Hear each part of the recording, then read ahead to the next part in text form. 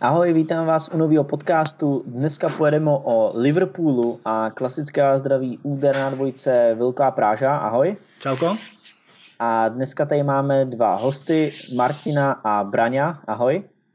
Čau. Ahojte. S tím, že Vilko, pojď nám říct, jaký si budeme dneska rozebírat témata, o čem pojedem, o čem si tady budeme povídat.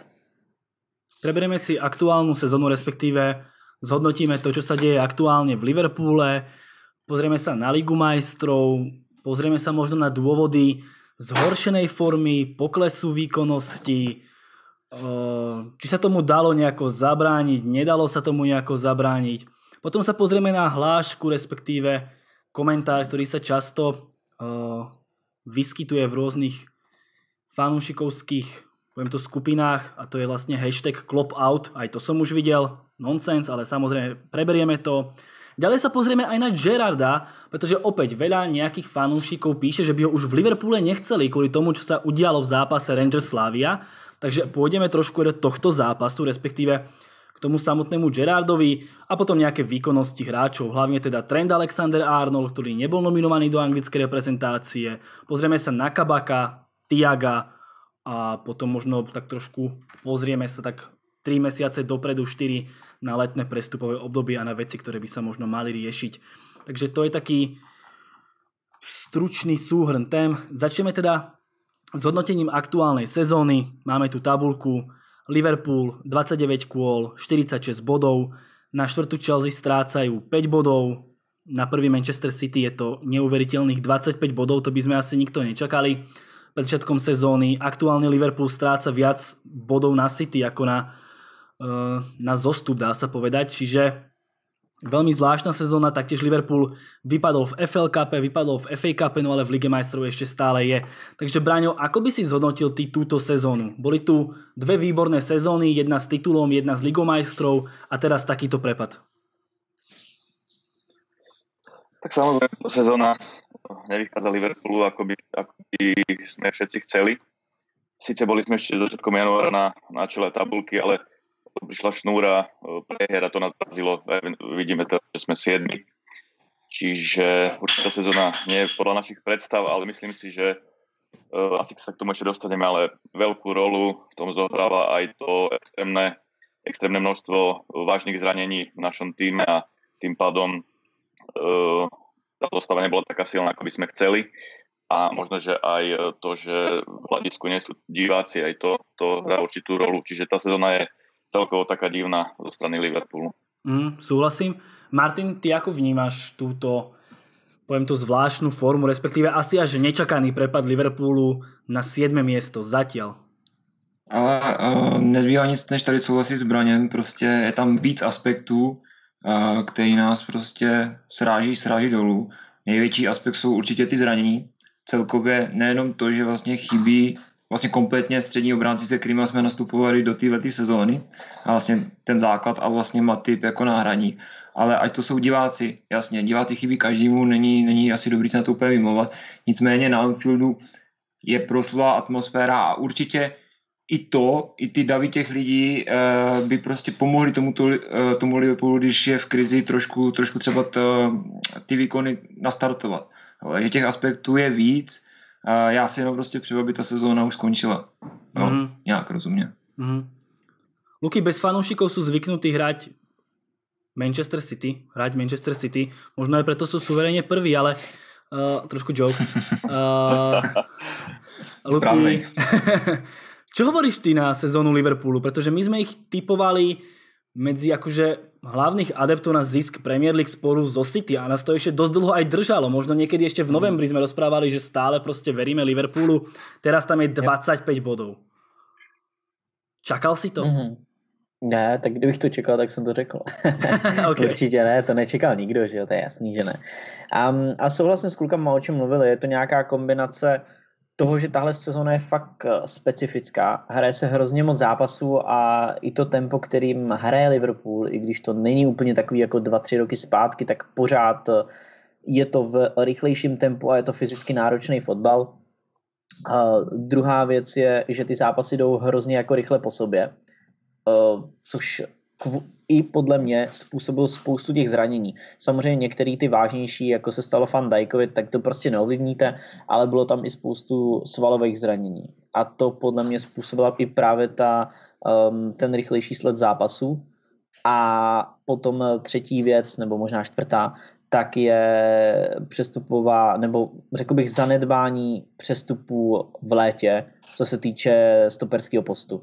Mm. Takže a kombinace všech těchto věcí a bohužel se stalo to nejhorší, co vlastně mohlo, že hned na začátku se zranil Van Dijk, se kterým se to nepočítalo a to, že se zraní Gomez a Matip, tak to se tak nějak očekávalo, i když ne, že na půl roku, ale očekával si, že se během, zraní, během sezóny prostě budou zraňovat, že budou na marotce.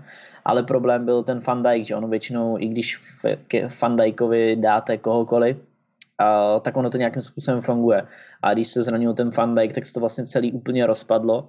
A když k tomu přičtem eh, pravidelně zraněnou dvojici Matip eh, Gomez, tak už, tak už prostě tam vznikl ten problém mnohem větší a už se to točilo. Henderson musel do obrany, Fabinho musel na stopera a v ten moment ty hráči chybí v záloze a už je to takový koloběh, který, který Liverpool jako doběh. A my jsme o tomhle se, myslím, bavili o trošku jakoby dřív, nebo ty jsi to říkal možná v nějakém videu, Vilko, mm-hmm. že by Liverpool na tom mohl být špatně leden únor, nejsem si jistý, ale mám taky pocit, že jsi něco takového říkal. Mm-hmm a právě skrz tu rotaci a respektive úzký kádr.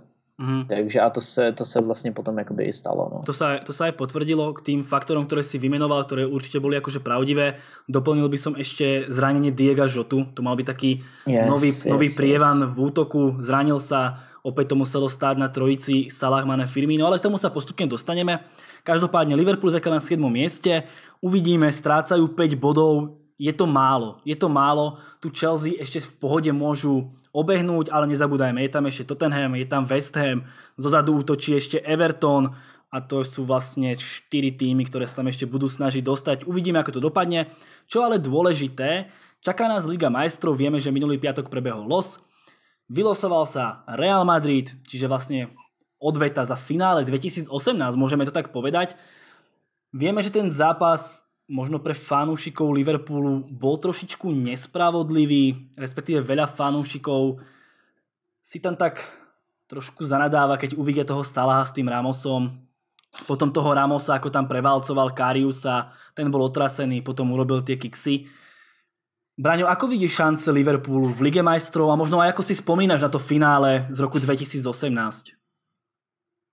No tak my sme asi všetci šťastní, že nám vyžerbovali ten Real Madrid, ako súpera. Bude to taká trošku vendeta e, za to, za to prehrané finále v Kieve pred dvoma rokmi, kde Ramos zranil Salaha a Tomaj Karius tam mal nejaké nešťastné zákroky a prehrali sme to, čiže všetci to berú tak ako, ako takú nejakú odvetu. A ja si myslím, že je teraz ten pravý čas, ako aby sme dostali Real Madrid, lebo tiež si myslím, že nie sú nejakej extra forme. Tiež ten kader nejak nedoplnili dobre. E, a keď je doplnili, tak tí hráči sú zranení, napríklad Hazard, ktorý mal tam hviezdiť v Madride a zatiaľ tam v podstate neodohral nič. Čiže ja tie šance vidím tak 50 na 50 a s tým, že u nás sa tá dostáva začína trošku, mám pocit, že stabilizovať, že aj tí stopery, stopery si už v posledných zápasoch trošku aj sadli a tým pádom mohli ísť ďalší hráči, ako napríklad Fabinho, sa posunúť do zálohy a tá hra dostala taký, taký nový náboj, taký nový impuls, e, vyzerala oveľa lepšie ako doteraz. Čiže myslím si, že máme šancu cez ten Real Madrid prejsť a potom nám tuším, keby sme sa nám to podarilo, máme uh, v semifinále niekoho z dvojice Chelsea Porto. Tam tiež vidím uh, šancu sa dostať ďaleko, čiže viac nám dávam uh, nejaké šance v tej Lige majstrov ako, ako samotnej lige. Mm, súhlasím, tá Liga majstrov... Kľudne poď. Pretože v tej, tej Lige majstrov je to väčšinou o, o jednom, o dvoch zápasoch, čiže uh, tam môžeme prekvapiť a môžeme sa dostať ďalej.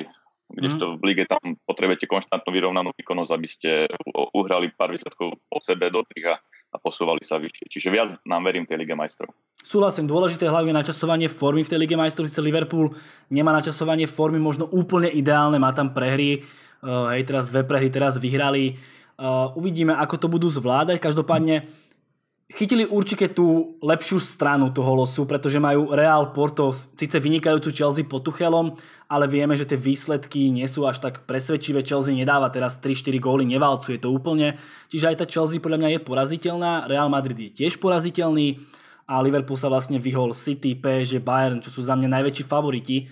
No a do finále je ešte dlhá doba, čiže Liverpool určite môže byť úspešný v tej Lige majstrov, no sa to nemusí ani človeku tak zdať, ale fakt to môže klapnúť. Uh, Martin, ako ty vnímaš šance Liverpoolu proti Realu Madrid, respektíve celkovo v Lige majstrov? A mhm. možno, že ako si spomínaš na toho Ramosa s tým Salahom, že bol si v tej skupine fanúšikov, ktorá vyslovene Ramosa akože znenávidela, že mu to vyčítala, pretože často sme toho boli svetkami, že Ramos to vraj urobil úmyselne a podobne. No dívej, uh, tak prvně, uh, jsem rád za Real Madrid, jsem rád, přál jsem si je nejvíc ze, ze všech těch možných uh, soupeřů. Uh, nepřál jsem si City a nepřál jsem si Porto. Porto podle mě je takový urputný soupeř, proti kterému, když třeba prohrajeme, tak by to možno, možná mohlo být braný jako trošku ostuda. Proti Real, když prohrajeme, tak se řekne prostě byl to Real. Navíc souhlasím, že Real není úplně v to formě a je prostě docela hratelný a máme jim co vracet. Myslím si, že i hráči se můžou dobře namotivovat, a aby je porazili. Nicméně, co se týče toho finále, to finále bylo opravdu, opravdu dost smolný. Já si totiž vybavu, já jako Ramosa moc nemusím, ani nikdy jsem moc nemusel jako hráče, tam to, tam to ještě teda vyšperkoval. Ale mě, co se uh, tam jako kdyby nelíbilo, tak jak jsme byli extrémně závislí tehdy na tom Salahovi. Jo. To byla, myslím, ta Salahová sezóna, kdy prostě vystřelil, útočil na ten zlatý míč a on jak se zranil, tak my jsme byli prostě poloviční. Já vím, že tam teda Mané pak ještě vyrovnával, Vím, že tam byl dával prostě životní gól z, z nůžek, tuším, mm-hmm. tam jeden padl, jo, a pak samozřejmě Kariusovi chyby, takže, takže prostě noční můra, noční můra. Máme něco vracet, takže já jsem soupeře rád a myslím si, že finále je fakt jako hratelný. Samozřejmě Chelsea, Chelsea je docela teďka jim to šlape, pokud teda postoupil přes Porto, což taky není úplně jistý. Samozřejmě. Takže rozhodně lepší strana, já se rád, že tam není City. Mm-hmm.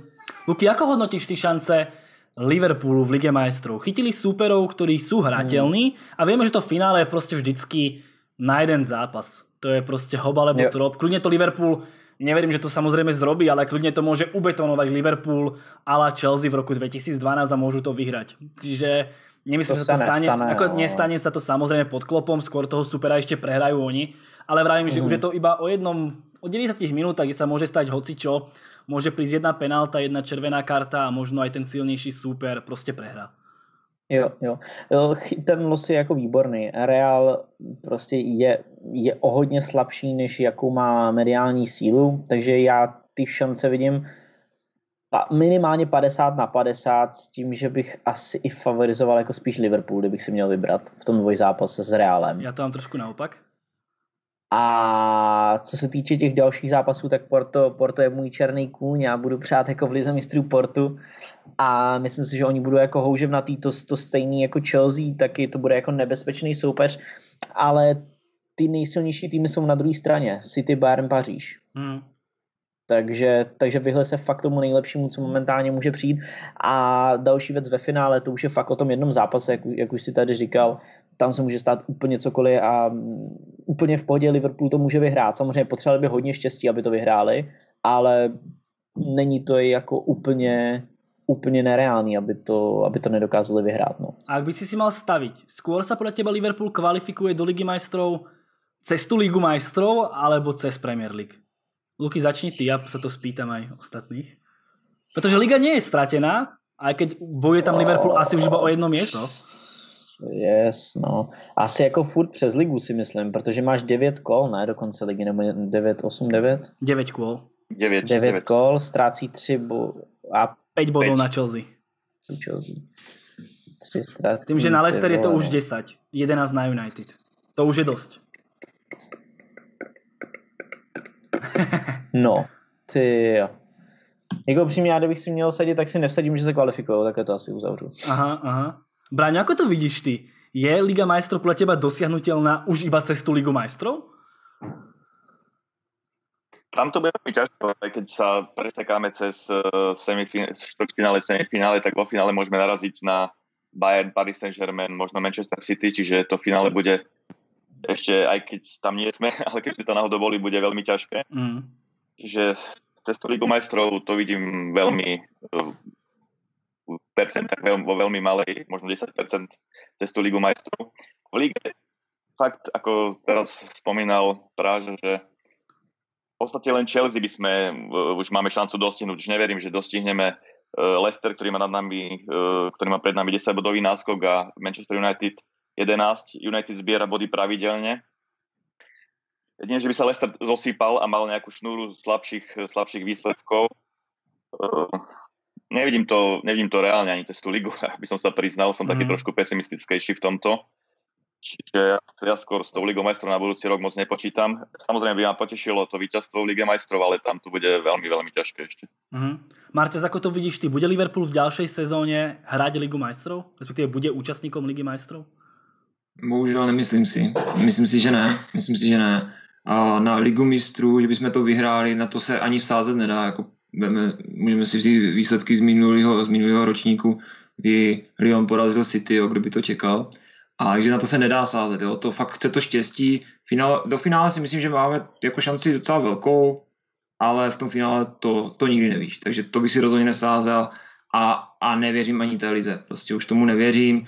Myslím si, že prostě my nevyhráme vše, všechny zápasy, které bychom potřebovali vyhrát. Myslím si, že nevyhráme všechny zápasy. A záleží, ten Leicester si myslím, že už, taky, že už tak nezaváhá jak minulým roce, jak zaváhali. Mm. Už to taky nepustí. Tak tam bola aj tá, čo... tá korona pauza, ktorá to dosť ovplyvnila mm. minulého roku, čiže tiež to nevidím veľmi rúžovo. Luky, ty si už tie dôvody, prečo sa Liverpoolu až tak nedarí, akože načrtol, zranenia, žota a tak ďalej. Ja to nejako doplním ešte. Liverpool mal minulého roku neuveriteľných 99 bodov, predtým rok mal 97 bodov. Asi logicky príde taký akože trošku úpadok, ktorý je očakávaný. Aj City proste, ktoré bolo top, tak práve minulého roku trošku kleslo. Kleslo aj Liverpool síce asi oveľa viac, ako sme čakali, akože brutálny pokles. Uh, aby sme to ešte raz nejako prešli, hlavné dôvody. Uh, Van Dijk, asi áno. Určite. Žota a potom možno aj. Uh, výkonnosť nových posíl tým narážam trošku na Tiaga, respektíve zhoršená forma Trenta. Čo všetko by si tam ešte zahrnul viacej, alebo prečo sa Liverpoolu nedarí, tak toto poviem. To, to je otázka na mě? No. Aha. Uh, tak to, už to, co jsem říkal jakoby na začátku, no, ty, ty věci, nezapomínal bych na, na podcenění té uh, stoperské trojce, Eh, že tam vlastně byli jenom tři stopeři a nejenom, že tam byli tři, ale dva jsou pravidelně už několik let v řadě prostě zraněný. Když do toho skočím, Liverpool no. má v této sezóně 18 stoperských dvojíc. 18 stoperských kombinácií, to je jakože neuvěřitelné. To je velká paráda, no. Hmm. Čiže kľudne pokračuj no. ďalej, to som chcel povedať. Že chvíľku tam hrávali dokonca záložníci Henderson s Fabiňom, hej. Yes. To, mm bola úplná katastrofa. Mm. ono, tá celá sezóna je vlastne súbor rôznych okolností. Jednak sú to časté zranenia hráčov, potom uh, také zlé životné udalosti. Klopovi zomrela maminka, uh, Alisonovi uh, otec, hej. Mm. Uh, potom vlastne, ako ho spomínal Práža, nedoplnili sme v lete stoperský post. Kúpili sme vlastne len uh, ľavého obrancu Cimikasa, Triaga do stredu zálohy a útočníka Žotu ale vlastne všetci traja boli dlhodobo zranení. Cimikas na začiatku, e, potom sa zranil vlastne niekedy v novembri, tuším, Tiago, ten sa vrátil až e, niekedy koncom januára do hry, to isté Žota, Žota sa zranil v oktobri a vrátil sa vo februári do hry, hej. Mm. Čiže my, aj keď sme celkom dobre doplnili, okrem tých stoperov samozrejme, to mužstvo, tak tí hráči vlastne boli zranení a, a vlastne nemohli mať nejaký impact na, na hru toho týmu. Začali hrať v podstate nejak pravidelne až teraz, vo februári aj Tiago a aj mm. Jota, čiže aj to malo, myslím, že okrem tých zranení veľký vplyv na, na tie výsledky. Len doplním, A samozrejme, ľudne poď. nemôžeme ešte zabudnúť na, na stratu formy troch útočníkov. Firmino, Mane, Salah. E, všetci traja, Firmino má doteraz podľa mňa je z formy a Mane, Salah mali tiež veľké výpadky, čo sa v minulosti nestávalo. Mm-hmm. O tejto trojici sa ešte budeme taktiež baviť. Mimochodom len doplním Braňa, ktorý vhodne, respektíve dobre povedal, že všetky posily chýbali. Dohromady vynechali takmer 50 zápasov tieto posily. To, to je akože neskutočne veľké číslo. Či už Cimikas, Tiago alebo, alebo Žota. Čiže dá sa povedať, že z istej časti Liverpoolu dá sa povedať, že aj neposilnil, hoci, uh, hoci posilnili. Uh, spomínal som tých 18 stoperských dvojíc. Uh, dalo sa ale, respektíve tak sa pýta Martin, myslíš, že keby prišiel stoper, teraz to nemusí byť konkrétne Kabak, ale hociaký iný stoper v lete, že by predsa len ten Liverpool bol aspoň na tom štvrtom mieste? Že je toto tak ten kľúčový akože aspekt toho, že sa Liverpoolu nedarí? Alebo si myslíš, že aj keby ten stoper prišiel, že ten Salah, ten Mane, Firmino, Tiago, že prostě aj tak by to bylo zlé, respektive nedobré. tak určitě to byl, nebylo by to dobré jak v minulých sezónách. Nicméně, myslím si, že kdyby přišel zkušený stoper, nepřišel by prostě žádný mladík, a nějaký fakt zkušený stoper, který by měl čas, protože ono zas moc času, i když Liverpool nehrál vlastně tu, tu dohrávku té ligy mistrů v létě, trochu zapracoval do toho týmu, tak já si myslím, že by to rozhodně, rozhodně pomohlo a to hlavně z toho důvodu, že bychom mohli hrát Hendersona nebo Fabíňa v záloze. A konkrétně za mě teda Fabíňa, který mně přijde a přišel mi vždycky pro naši hru klíčovou a i pro tu celkovou defenzivu. Jo. A ono i teďka v těch posledních zápasech, dobrý, jsou to jen záblesky, ještě, ještě to moc neodehráli, teďka už v tom správném složení, ale jde vidět, jak je ten Fabinho na tom defenzivním záložníkovi. Takže strašně těm, těm stoperům pomáhá a ta hra netka vypadá jinak. To je podle mě to klíčové. Já jsem to tady vždycky, když jsme se koukali na streamy, říkal, že prostě Fabinha, i když jo, hrál, hrál docela dobře, na, na tom stoperovi šlomu to udělal tam občas nějakou takovou tu záložnickou chybu, že prostě zbytečně třeba fauloval, ale prostě jeho místo je defenzivní záloha a tam je fakt klíčové. Ono to možná tak nejde vidět, všichni vidí Salaha, všichni vidí Virgila, jo, jasně, ale ten Fabinho si myslím, že je taky velmi klíčový. Takže pomohl, podle mě jo.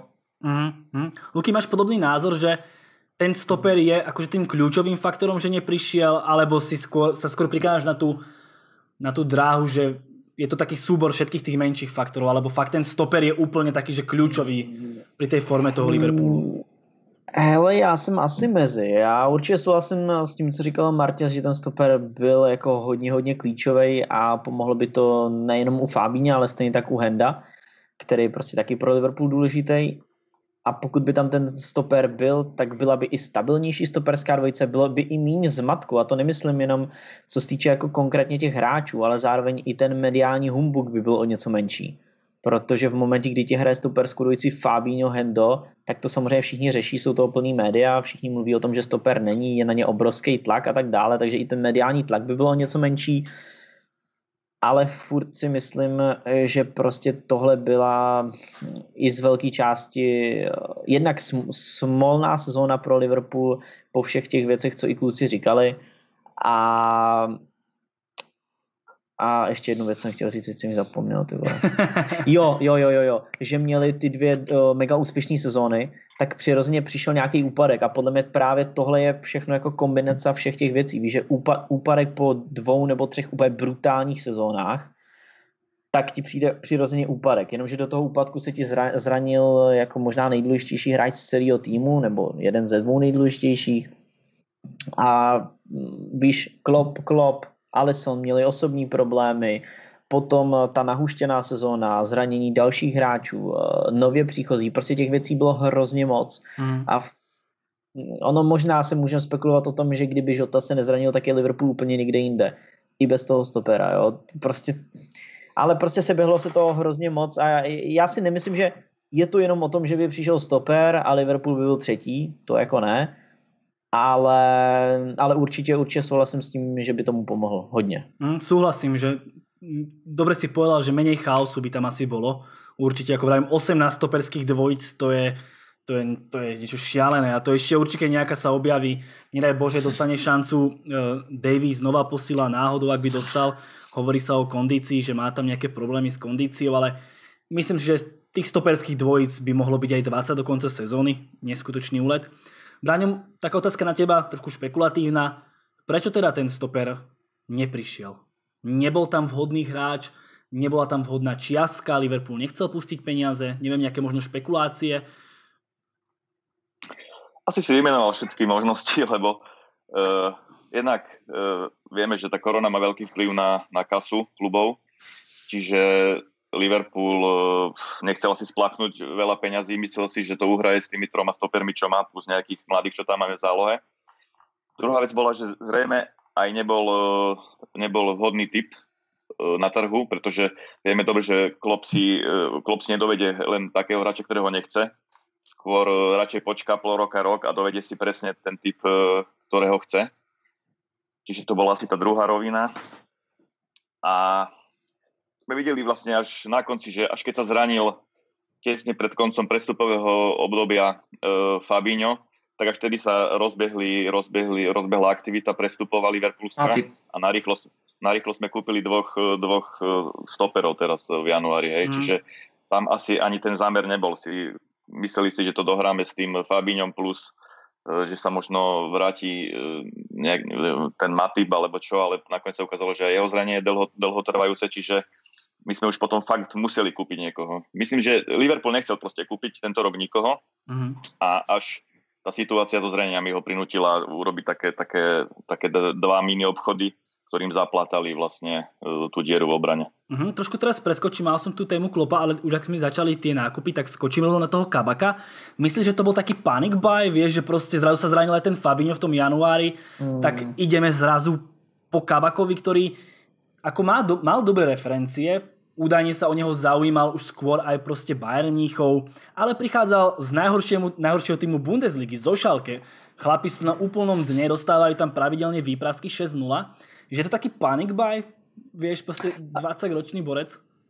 A za mě to nemůže být, nemůže být panic buy v momentě, kdy je to hostování s nepovinnou obcí. Za mě to je jako úplně výborný řešení. Ale že možno, že, nem... ale myslím tým štýlom, vieš, že uh, možno nie sú presvedčení jeho kvalitou. To možná nejsou, ale právě kvůli tomu tam je hostování s nepovinnou hmm. obcí. Čiže v momentě, kdyby byla povinná obce nebo nákup, mm. tak OK, se můžeme bavit o tom, že je to pa- panic buy prostě na, na rychlo někoho koupit, ale za mě jako tohle řešení je úplně výborný, protože v Kabakovi možná je potenciál, možná není, ale to si myslím, že varianta s tímhle půlročním hostováním, kde se ho můžou vyzkoušet a potom se rozhodnout, chcem ho, nechcem ho, tak je za mě jako úplně výborný mm. řešení, že za mě to ani nešlo jako líp vyřešit. A já osobně bych šel do ní tak, je to mladý kluk, samozřejmě teďka v Šalke jsou na tom špatně, dostávají tam bídu, takže i díky tomu byl v uvozovkách za takhle jako směšnou cenu, protože on šel vlastně na hostování s tím, že ho Liverpool nemusí kupovat, ale kdyby se mu dařilo, tak výkopka je snad 19 nebo 20 milionů což je jako úplně jako směšný, jo. takže v momentě, kdyby vlastně byl super, tak by stál Liverpool 20 milionů, když bude špatný, tak nebude stát Liverpool nic, mm. takže v tomhle určitě jako vysoce, vysoce pozitivní, ani to za mě nešlo ani líp vyřešit, tak bych řekl jako úplně dokonalý řešení. Za mě osobně by to šlo lepší vyřešit, ak by byl Kabak skúsenejší, protože Kabak má iba 20 rokov, e, samozřejmě už veľa toho odohral, ale vravím, teraz hral v mm. Šálke v týme, ktorý nie je stabilný, čiže myslím si, že krátkodobé riešenie, ktorý možno Kabak bude, uh, by bol lepší nejaký skúsenejší stoper. Bráňo, ešte otázka na teba. Ako si takal spokojný s Kabakom? 20-ročný borec, nejaká výkupka 20 miliónov, naskočil do týmu, ktorý nemal až takú dobrú formu, nový systém, úplne iné očakávania, iné ambície prestupovať v dnešnej dobe zo Šálke do Liverpoolu, to je akože hrozný úle, dá sa povedať, čo týka ambícií. Ako by si ho zatiaľ zhodnotil?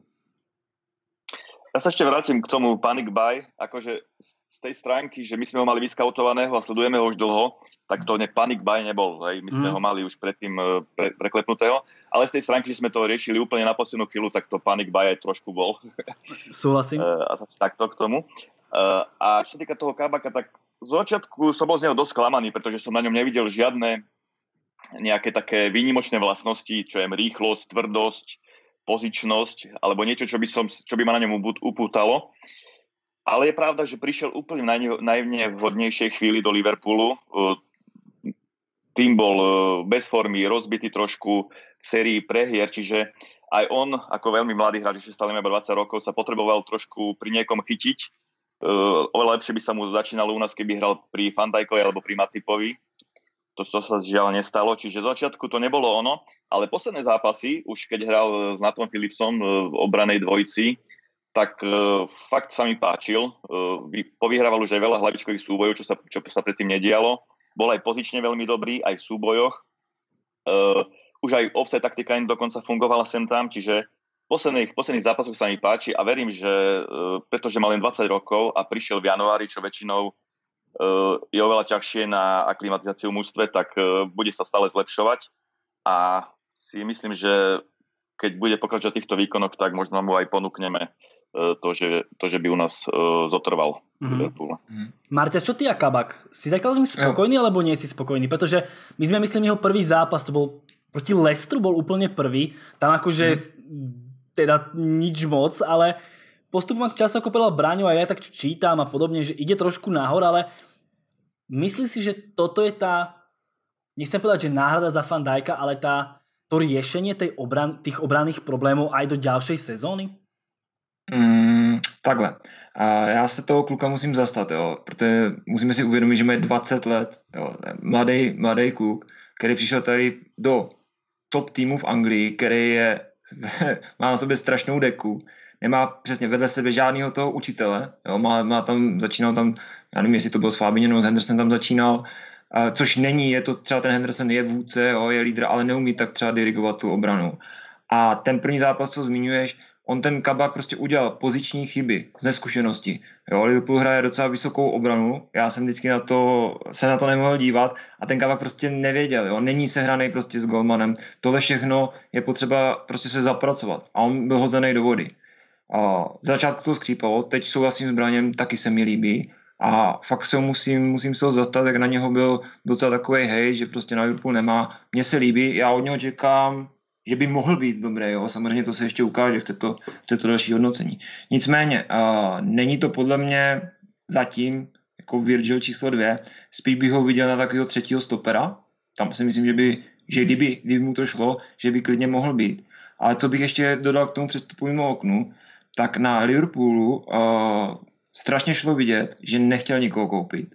Ono se to podle mě moc nezmiňuje, ale ta korona ten Liverpool taky dost, jako dost zasáhla. Jo. Liverpool je podle mě dost závislý taky na vstupným. My jsme dělali nějaké rozšíření vlastně Enfieldu, Vím, že já nevím, je to tři roky zpátky, se zdražovalo vstupný, byly i nějaký protesty fanoušků, takže opravdu i ten Liverpool je na tomhle dost závislý, takže se jich to dost dotklo, takže podle mě určitě nechtěli nikoho kupovat tohle to chtěli to nějakým způsobem dohrát ale já si myslím, jak se potvrdilo Maty po zranění do konce sezóny, myslím, že to je do konce sezóny, tak prostě neměli, neměli na výběr. Takže mm. museli, museli dovést tyhle dva hráče. Takže Kabak mě se líbí, mě přijde docela takový, na to, jak je takový docela mohutný, takový velký řízek, je mu 20. Přijde mi docela silový, takový dobrý, tak mi přijde i docela atletický. Mně se zatím docela líbí, jo, akorát ze začátku jako zmatkoval tam, jo, ale já se tomu prostě nedivím, jo, je mu fakt 20 let. Mm. Luky, v médiách sa už hovorí o letnom prestupáku, hovorí sa o útočníkovi a obrancovi, eh, že by mali mm. prísť. A taká otázka na teba, myslíš si, že práve Kabak bude tým hráčom, ktorý príde do obrany natrvalo a vlastne ostane už iba, dajme tomu, Van Dijk, Maty Bodige na voľný kontrakt, štvrtý stoper bude napríklad Ned Phillips. Či vlastne Kabak bude tým možno takým očakávaným, respektíve nejakým budúcim novým mm. lídrom tej obrany, alebo príde Kabak a ešte niekto, alebo Kabaka nepotvrdia? Mm, spoustu otázek. Ja Hele, za mě ještě hodně bude důležitý, jaký výkony bude předvádět do konce sezóny, protože pořád máme před sebou eh, ve všech soutěžích nějakých, pokud se dostanou třeba až do finále, tak nějakých 13-14 zápasů. Mm tak, což je hodně. A tam bude dost důležitý, jak on bude hrát eh, a jestli dokáže navázat, dejme tomu, na ty výkony z posledních pár zápasů, v ideálním případě být ještě lepší a nějakým způsobem, eh, aby ukázal, že je rozdílový.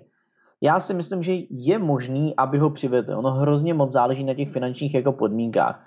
Pro mě osobně by byla ideální varianta, aby byl, eh, jak říkal Marťas, stoper číslo 3, s tím, že tam je ještě Gomez, ale ten je taky většině jako zraněný.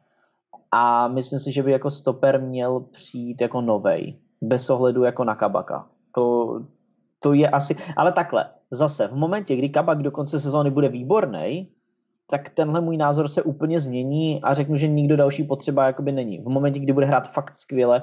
A takže, hele, teďka v momentální situaci, jak vidíme Liverpool, jak vidím Kabaka, tak je to pro mě stoper číslo 3, který bych vzal, protože za mě potenciál versus eh, cena, za kterou může přijít, je pořád hodně výhodný nákup. Ale v momentální situaci bych uh, pořád tlačil na příchod stopera, který bude hrát vedle Fandajka v základu a to z velké části i kvůli tomu, že nevíme, v jaký formě se vůbec vrátí Van Dijk, to je taky důležitý, on prostě rok bude mimo. A on to nemusí být ten Van Dijk, který byl před rokem, jo, takže a může se třeba taky zranit. Ne, nechci říct, že se mu to zranění obnoví, ale může mít prostě nějaký menší zranění, takže... Skočím tě do osobně... toho, keď no. rátame Fandajka ako jednotku stále. Rozpráva ešte mm. o mhm. ďalšom stoperovi, Kabak trojka, štvorka tým pádom Gomez? Jo. S tím, že já osobně bych se nebránil ani Gomeze prodat, je většině jako zraněný. I když se to asi fanouškům Liverpoolu líbit nebude, ale Borec jako je většině zraněný, to je prostě za mě za tři roky to bude prostě další jako týpek, který sice má, má talent a tak dále, ale je většině zraněný. Třeba se mýlem, je to samozřejmě možný. Mm-hmm. Bráňo, myslíš si, že... Môžem, Kľudne, Bráňo, Môžem dodať, e, e, skôr by som predal asi Matipa, ten je zranený ešte, ešte viac. Tomu končí to kontrakt, myslím. Ale... Tomu končí kontrakt, myslím. Nie, nie, oni majú obidvaja do, do roku 2024 kontrakt, aj no. Gomez, aj Matip, čiže my keby sme chceli priviesť nejakého kvalitného stopera, my, my sa musíme jedného z týchto dvoch zbaviť predajom samozrejme, keďže majú kontrakt a skôr to vidím na Matipa, pretože je starší. A fakt uh, ten Gomez má, má, mal e, také dlhotrvajúce zranenia, ale minulý, minulý rok bol skoro celý rok v pohode, kdežto ten Matip, on odohrá priemerne, neviem, 13-14 ligových zápasov iba, pretože v kuse zranený, hej, on, on nevydrží jo. 10 zápasov. Čiže zbaviť sa Matipa, ale hovorím, obidvaja sú ešte pod dosť dlhý, ešte 3 roky pod kontraktom. Mm, pozerám, ospravedlňujem sa, ospravedlňujem sa, sú pod kontraktom obaja. Jo, tak to, to, to určitě souhlasím s tím Matipem. Já jsem právě bral, že, že mu končí smlouva, ale s ním jako počítám, že 100% musí odejít. Jako. To jako za mě určitě, že na ní se fakt nedá spolehnout. No. Takže mm-hmm. on určitě, ale upřímně, já bych se nebránil i tak ani prodejít toho Gomeze. A klidně v momentě, kdyby se podepsal Kabak a přišel jako nový stoper, tak jít ze čtveřicí Van Dijk, Posila, Kabak a Philips. Mm. Philips náš v tom čtvrtom stoperovi se mi páči, Borec odvádza podľa mňa celkom solidnú robotu a nikto nečakal, že práve on bude možno najlepším stoperom sezóny v Liverpoole, aj keď vieme, že tých dvojíc tam bolo veľa, ale ten Philips na to, aký je to borec, že prišiel možno od nikiaľ, ani niekto možno nevedel, že taký hráč v Liverpoole je, tak za mňa veľmi solidné výkony. Nehovorím, že je to úplne najlepší stoper na svete, alebo že niekedy bude a niečo podobné, ale solidná možnosť. Uh, teraz otázka, prejdeme na toho klopa. Uh, Martin, myslíš si, že je reálne ohrozená um, stabilita klopa na lavičke Liverpoolu? Ak by, poviem úplne ten najhorší scenár, Liverpool skončí, dajme tomu, 7, 8, nebude ani v Európskej lige, Ligu majstrov nevyhraje, čiže bude bez, proste bez Európy, bez trofeje. Je toto dôvod na to vyhodiť klopa? Mm, myslím si, že určitě není. Z mého pohledu 100% není, ale myslím si, že to ani vedení neudělá. A Klopp, musíme si uvědomit, co všechno pro Liverpool udělal, kam nás vedl. Úplně zvedl nás vlastně mezi top kluby, kde my se tady vlastně uh, konečně máme po 30 letech titul, vyhráli jsme ligu mistrů, ten tým je prostě zajímavý, dělá z těch hráčů hvězdy. I tomu klubu dokáže vydělat, kdyby nebyla korona, věřím tomu, že plno hráčů by i z peněžní, jako určitě by podle mě odešel někdo z útočný trojce za velký prachy, teď, teď, teď to docela nejde. Takže myslím si, že ne, byla by to podle mě chyba. A jak jsme tady říkali, je plno důvodů, samozřejmě i Kop něco udělal špatně, nedělá všechno skvěle, to neříkám, že je jako perfektní, ale rozhodně tu situaci neměl lehkou a kdybychom se k tomu takhle postavili, tak to by se mně osobně jako hrubě nelíbilo. Jo. Myslím si, že tahle sezóna se můžeme zkusit prostě dojet se ctí, zkusit ještě zabojovat o tu, o tu ligu mistrů, ale rozhodně bych Klopovi ještě dal šanci minimálně ten kontrakt, co má prostě, aby, aby dojel s Liverpoolem. Hm, že aj keby nebola prostě pohárová Európa, nevadilo by ti to prostě? Ne, ne. Hmm. Bráňo, tvoj názor na to a možno tak ešte doplním, že uh, či sú potom trošku tak aj niektorí fanúšikovia Liverpoolu nevďační, keď si želajú odchod toho Klopa po tom všetkom, čo urobil? Tak ja plne súhlasím s Martinom, asi povedal všetko, tak to aj ja cítim, že po jednej nevydarenej sezóne a ešte takto ovplyvnenej zraneniami a možno koronou a inými uh, vecami, že to absolútne nie je, nie je uh, žiaduce, aby sme teraz Klopa odvolávali ale, alebo by ho dostali pod nejaký tlak, aby mal výsledky. Čiže on ten tým nejaký ten rok budoval, minulý rok mal úplný vrchol, teraz sme trošku išli nižšie, ale myslím si, že Klop má našu nielen našu, ale aj dôveru vedenia, že ten, že to, ten tým znova doplní dobre a znova ho dostane na, na veľmi vysokú úroveň. A to, čo predvádzajú niektorí fanúšikovia na sociálnych sieťach, že Klopp a podobné nezmysly, tak to je odraz doby dnešnej, že ľudia si môžu napísať, čo chcú a niekedy nad tým vôbec nerozmýšľajú, čiže to by som ani nebral vážne a myslím, že to nikto ani v Liverpoole vo vedení vážne neberie. Mm-hmm. Čiže myslím, že, že Klopp minimálne dodrží ten kontrakt, ktorý má a budeme všetci radi, ako dodrží. Mm. Luky, je podľa teba šanca, že by Klopa akože mohli vyhodiť? Vieme, že sme svedkami, proste sme v dobe, kedy sa dejú zvláštne rozhodnutia, menia sa mm. manažéri na základe proste nedáva to niekedy fakt zmysel. Videli sme, čo sa stalo Frankovi. OK, teraz niekto môže povedať, že Tuchel sa vydaril, ale aj tak si proste spätne mi stále myslím, že Frank ešte mal dostať priestor, nedostal ho. Myslíš si, že hmm. je šanca nejaká reálne, aby Klopa vyhodili, keby nebol v Európe? Velmi malá. Myslím si, že velmi malá. Prostě kdyby byl v Chelsea, tak už dávno vyletěl, kdyby byl v Reálu, tak už dávno letěl. Ale je v Liverpoolu a je potřeba se na to za mě dívat i takhle, že v Liverpoolu je to vedení mnohem rozumnější. Uh, to, úplně souhlasím s klukama, ono asi já bych se jenom opakoval mm. s tím, že vystihli to úplně, úplně skvěle, prostě udělal to klub hrozně moc pro Liverpool a právě po jedné sezóně to zahodit by za mě nebylo moc dobrý a přesně jak říkal Braňo, co se týče jakoby fanoušků na těch jako sociálních sítích, že ho třeba chtějí vyhodit, tak úplně přesně je to jako odraz doby. Dneska každý si může napsat, co chce, každý má svoji pravdu a ve finále jakoby proč ne, svoboda slova a tak dále, ale smysl to za mě určitě nedává, protože mm, je to často bez jakýkoliv jako kritického myšlení. A když se jako těch lidí by se zeptal na nějakou jako konstruktivní věc, proč teda, nebo aby to nějak víc vysvětlili, tak ti ve finále stejně jako nic nevysvětlí, ale to je jako dlouhá story, kterou známe. Uh-huh, A myslíš, že je tam šance, že by Klopp sa sám vzdal funkcii, ak by sa mu nepodarilo dostať do Ligy majstrov? On nedávno to si poved... myslím, že je... No, poď, poď, on, on nedávno povedal, že ak by sa to stalo, že, proste nebuď, že bude bez práce, takže si vezme akože ročnú pauzu od futbalu ja. a podobne. Či to je pre teba mm. akože reálne? Že proste povie si, OK, stačilo, rok pauza, už jo. viac tomu Liverpoolu nedám. Hmm. Hele, tohle už jsem říkal během sezóny, že to je za mě možnost, která se může stát. Podle mě je to jako reálný, ale jako šance, že ho vyhodí je podle mě 1%, šance, že si veme volno je 19%, ale 80%, že zůstane a povede Liverpool další sezóně. Mm, bez ohledu na výsledok. Jo, jo, ale, ale jako je tam určitě ta šance, že ta jeho sebereflexe může být taková, že řekne, že už třeba, nebo ucítí možná z hráčů, že už nemůže jim, nemůže tomu klubu třeba dát víc. To se podle mě může, může jakoby stát, ale jak jsem říkal, podle mě 8, z 80% věřím tomu, eh, že povede Liverpool další sezóně. A myslíš si reálně? Já si, prepač, Vilko, já si myslím, že právě naopak, že neúspěšná sezóna ho vyhecuje, aby ještě raz prostě dovedl ten Liverpool zasa úplně hore a odíde skôr na vrchole, ako, ako po takejto nevydarané sezóně. To je mm. akože můj názor. Mm. Já si taky myslím, já si myslím, že on by chtěl dokázat to, že ten výsledek tady této sezóny není zapříčiněný jeho, jeho taktikou, ale těma všema okolnostma a že to právě bude chtít dokázat, no taky si to myslím. To som chcel práve povedať, že či by to vôbec bolo aj dobre z jeho strany, pretože nechať klub, dajme tomu, na 8. mieste bez ligy majstrov a teraz odísť po tých 5 či 6 rokoch, kedy tam je, že či by toto hmm. nebralo skôr ako nejaká zrada, ako reálne pomoc tak týmu. Tak zrada vieš. určite ne, kámo. Ako Ale prečo, vieš, tak, tak povieš si, že kapitán proste nedarí sa, hej, proste šéf tej lode celej a proste nedarí sa jeden rok a ujde, odíde preč, vieš.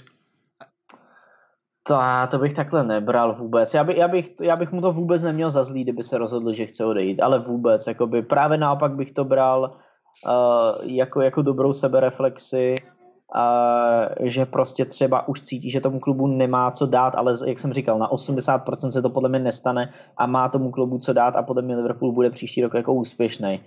Ale, ale jenom jsem chtěl dát to porovnání, že Vyhazov versus jeho osobní rozhodnutí, že odejde, takže ta šance toho vyhazovuje podle mě oproti tomu jako úplně skoro žádná, až úplně mm, jako minimální. Mm, mm, chápem.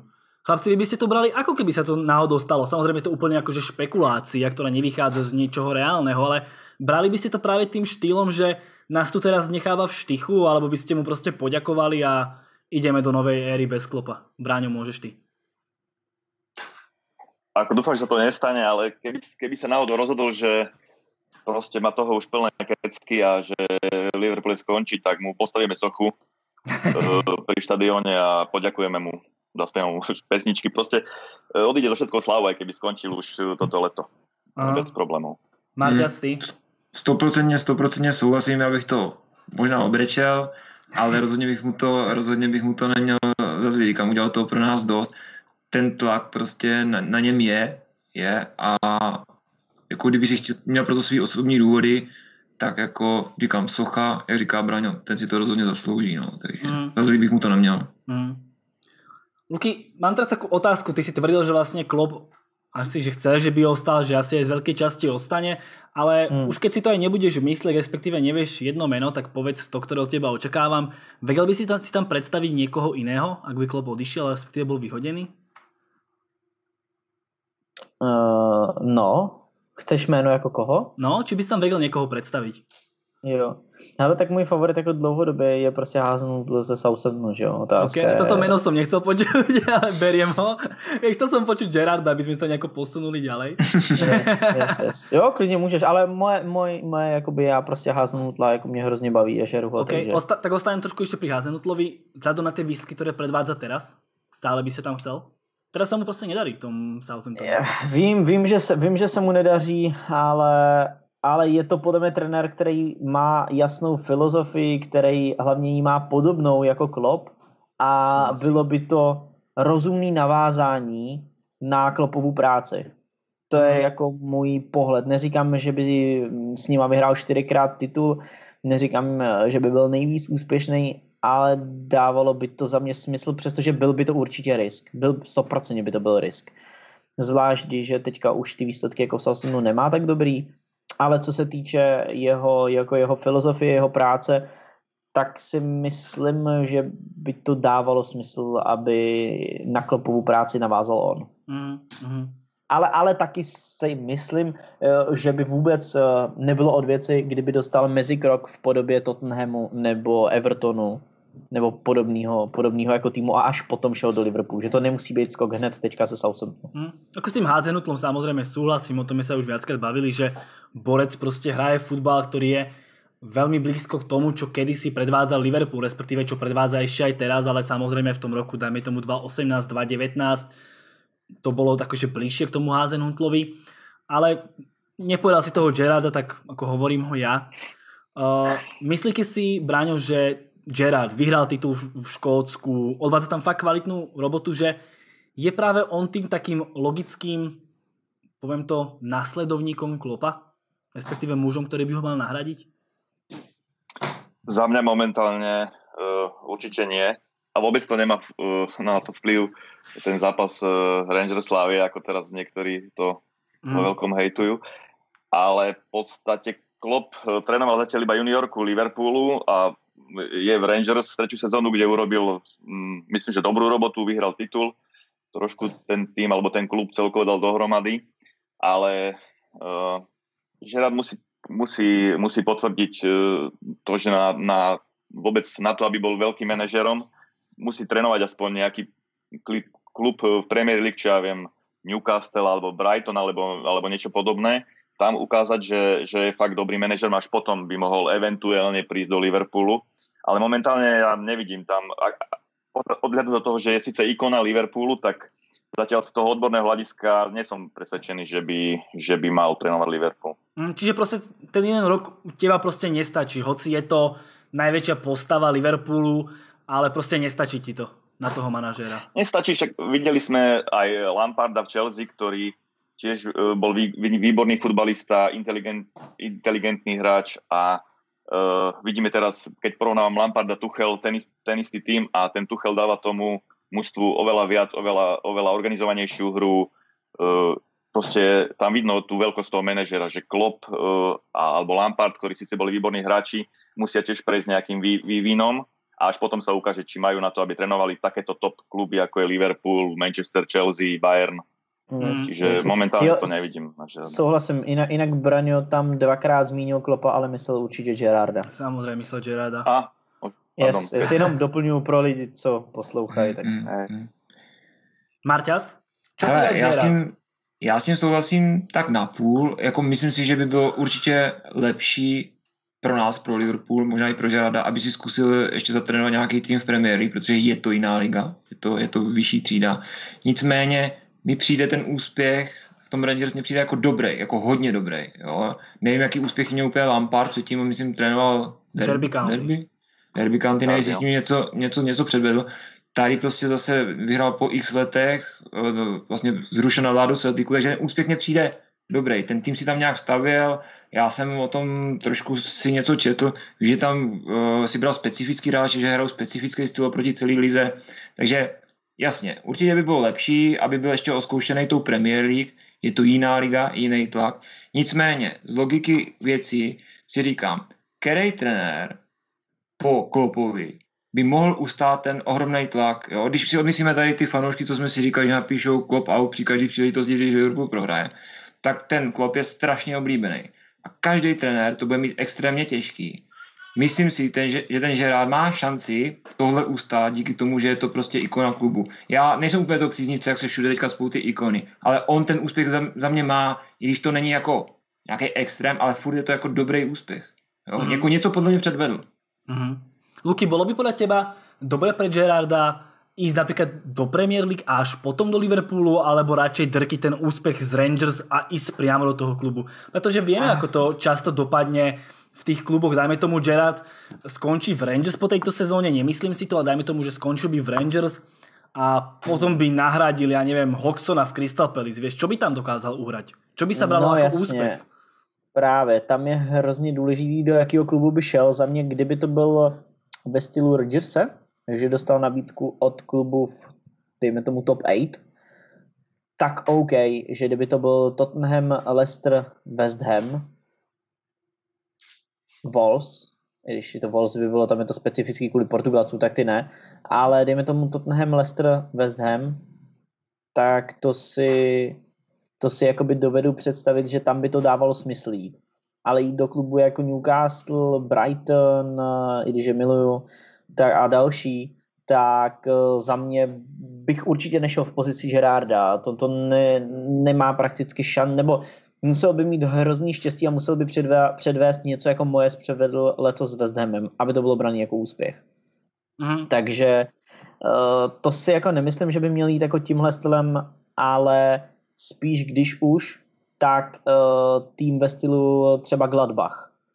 Je, nevím, není to Premier League, ale prostě je to tým, který bojuje o top 4, bojuje o evropský poháry, od nové sezóny tam bude Xabi Alonso, na který jsem teda mega zvědavý, ale, ale tým v takovémhle takovýhleho formátu, který bojuje o ty evropský poháry, za mě do týmu, který eh, bojuje o druhou polovinu tabulky, tak by bylo kontraproduktivní a už víc by se mu vyplatilo zůstat v Rangers a vyhrát tam třeba třikrát v řadě tu, tu mm. ligu. Mm. A jinak to srovnání Gerard Lampard, jak tady kluci zmiňovali, tak jako jednoznačně na straně Gerarda, co se týče trenérské kariéry. Tam je to jako za mě úplně neporovnatelný to, co se Lampardovi povedlo v derby a to, co se Gerardovi povedlo v Rangers, tak je podle mě úplně neporovnatelný. Tam Gerard je o dvě úrovně dál. Jako. Tak Lampardovi se v tom derby nepodarilo prakticky nič, ak to máme tak povedať.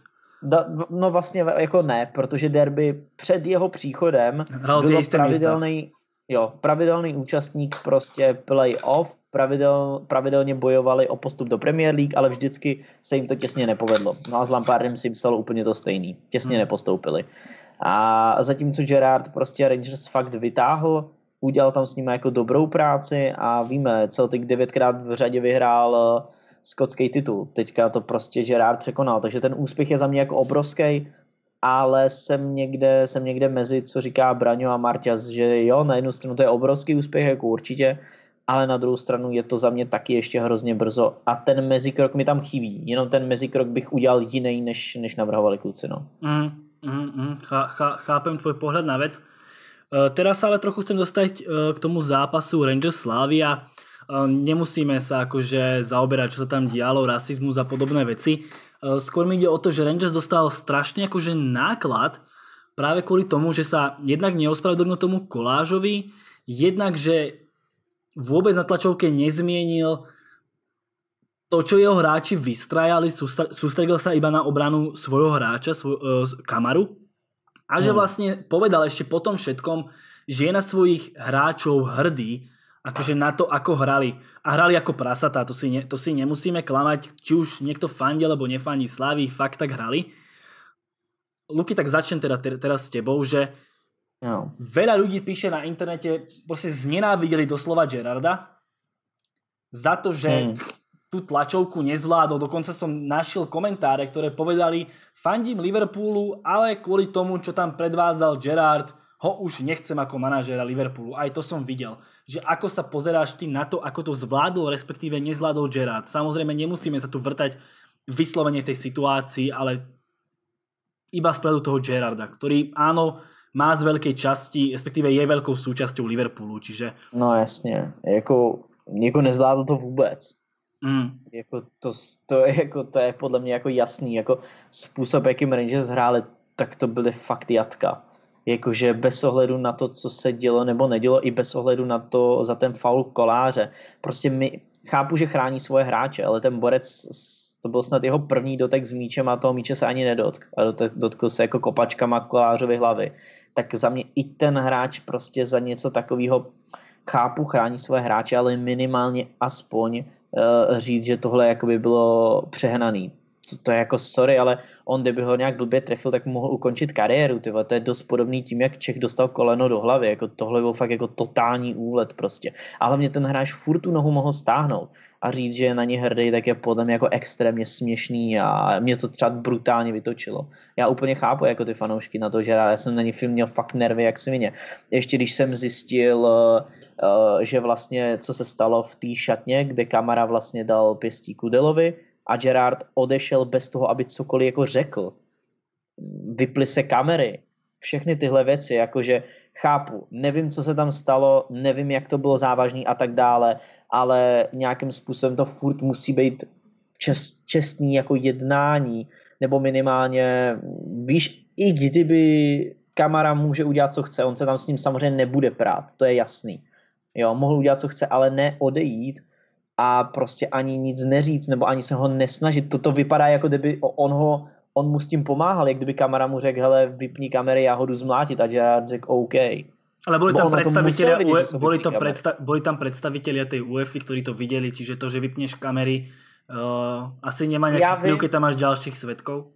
Určitě, ale víš, ta situace, že se otočí a odejde, jakože to, to není OK tohle za mě. Tohle, za mě, jako mě, já teď už jsem v klidu, ale já když jsem tuhle situaci celou viděl, tak mě to brutálně jako vytočilo to chování. Okay. A samozřejmě byl, byl jsem hodně v emocích i z toho zápasu, protože fakt jako během toho zápasu jsem eh, jako nemohl nechápal. Být, nemohl být Gerard v takých jistých emocích? Mohl určitě, samozřejmě jako by, že mohl, určitě jo. A já, já jsem jako viděl čtyři, pět červených karet v tom zápase. Mm. Úplně v pohodě. A to, který Rangers ještě jako nedostali. Ty zákroky tam fakt jako byly likvidační. Tam hráči a je za to zodpovědný hráč... Gerard?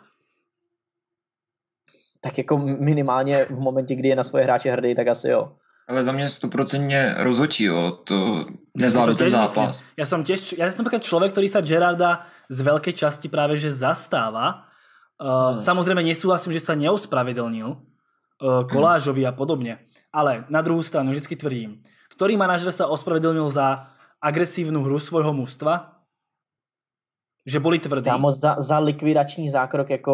Ospravedlnil sa áno, že popriali veľa zdravia a podobne. Ale ktorý no. manažer proste v nejakom vyostrenom zápase povie, no tak hrali sme El Clásico a hrali sme ako hovada. Nespomínám ne, si na to. to ne, to samozřejmě, že ne, kámo, ale když uh, sundáš jakoby kolíkama protihráče do hlavy... Toto áno, to vravím. Tak... To, to sa mal ospravedlniť a popriať mu veľa zdravia. Ale myslím za celkový obraz hry, ktorý manažer sa ospravedlnil, nevidím takého. To, to a, ne, to súhlasím. No. A druhá vec je tá, že uh, častokrát som toho taký svetkami, ako keby Gerard huckal tých hráčov. Veď tí hráči tam stojí na tom ihrisku, majú vlastný rozum, a oni mhm. zodpovedajú za to, čo urobia. Ako niekto si reálne myslí, ja. že ten Gerard proste povedal hráčom, chodte ich zabiť. Ako to sú opäť také veci, že mňa to brutálne vytáča, veď tam sú hráči, dospelí, majú svoj rozum a príde mi také, že teraz sa z Gerarda stal manažer, ktorý predvádza vyslovene najhorší a, futbal na svete, agres, ale víš, ono, on ti podle mě v tom chybí ale ten kontext těch všech věcí. Uh, víš, že já souhlasím s tím, že kdyby to bylo v nějakém normálním zápase, tak jako by OK, manažer nepřijde a nezruší to, ale tam prostě bylo i to, že oni je třeba nechtěli vůbec pustit jakoby do šatny, ty, ty hráče Slávy. A Gerard byl ten, kdo vyšel jakoby ven a hráči Slávy půl hodiny po zápase stáli na hřišti. Nechtěli je pustit dovnitř. Gerard s někým z UEFI šel ven, byl tam, eh, já jsem viděl nějaký videa, co, co točili právě z realizačního týmu Slávě.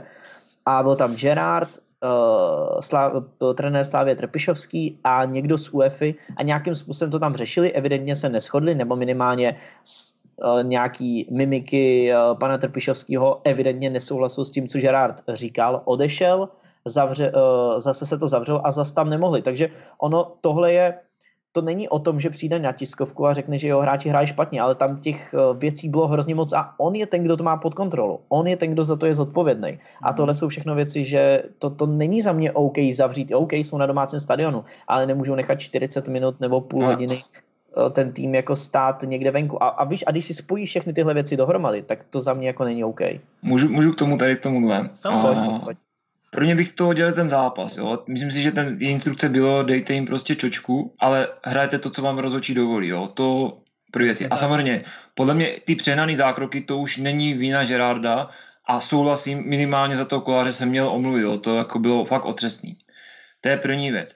Druhá věc je ta, to, co se stalo potom, z mého pohledu, jak to vnímám, a to není jenom ve fotbale, Uh, tam je ten rasismus, to naštění z toho rasismu a v západní světě, no, no na západ od nás, je, je to braný tak, že vlastně slova ubližují víc než prostě, než útok. Jo? Takže ty, když seš podezřený z rasismu, tak si k tobě ty lidi můžou dojít všechno. My jsme to tady viděli několikrát.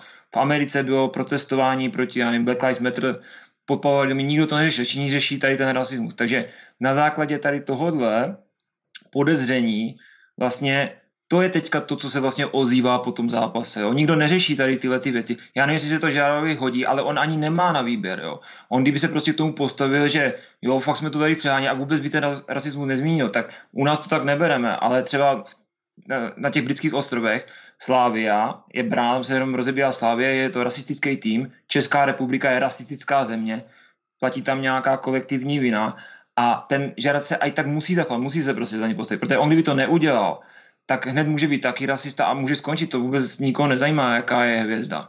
Jo, takže já si myslím, že to, co se tam dělo potom, a je to jako směšný, je to přijde směšný, protože to ani není potvrzený, jo. je to prostě nějaký podezření, tak se dělalo na základě tady tohodle naštění. Eh, to, co se stalo vevnitř, že si byl Kudela napadený pěstma, ale to já jsem neviděl, já jsem viděl taky nějaký záběr, jak je tam jako nepustili. Jako je to ostuda, jo, já nevím, to je prostě ne ani chyba Žerada, ale chyba vůbec klubu. Jo. Tohle si prostě nemůžou k týmu dovolit, ještě na evropské půdě, jako v Evropské ligy. Ale celkově je tam prostě ta přecitlivělost, já jako rasismus rozhodně neobhajuju, ale je to sportovní zápas. Ti hráči slyší plno nadávek, během zápasu si říkají plno nadávek. A samozřejmě, když ta nadávka bude nějak, jestli byla, jestli byla nějak uh, s rasistickým podtónem, tak prostě teď je taková doba, že se bude řešit jenom tady ta věc. A oni mají vlastně právo tohle udělat. Z jejich pohledu. Z našeho pohledu ne.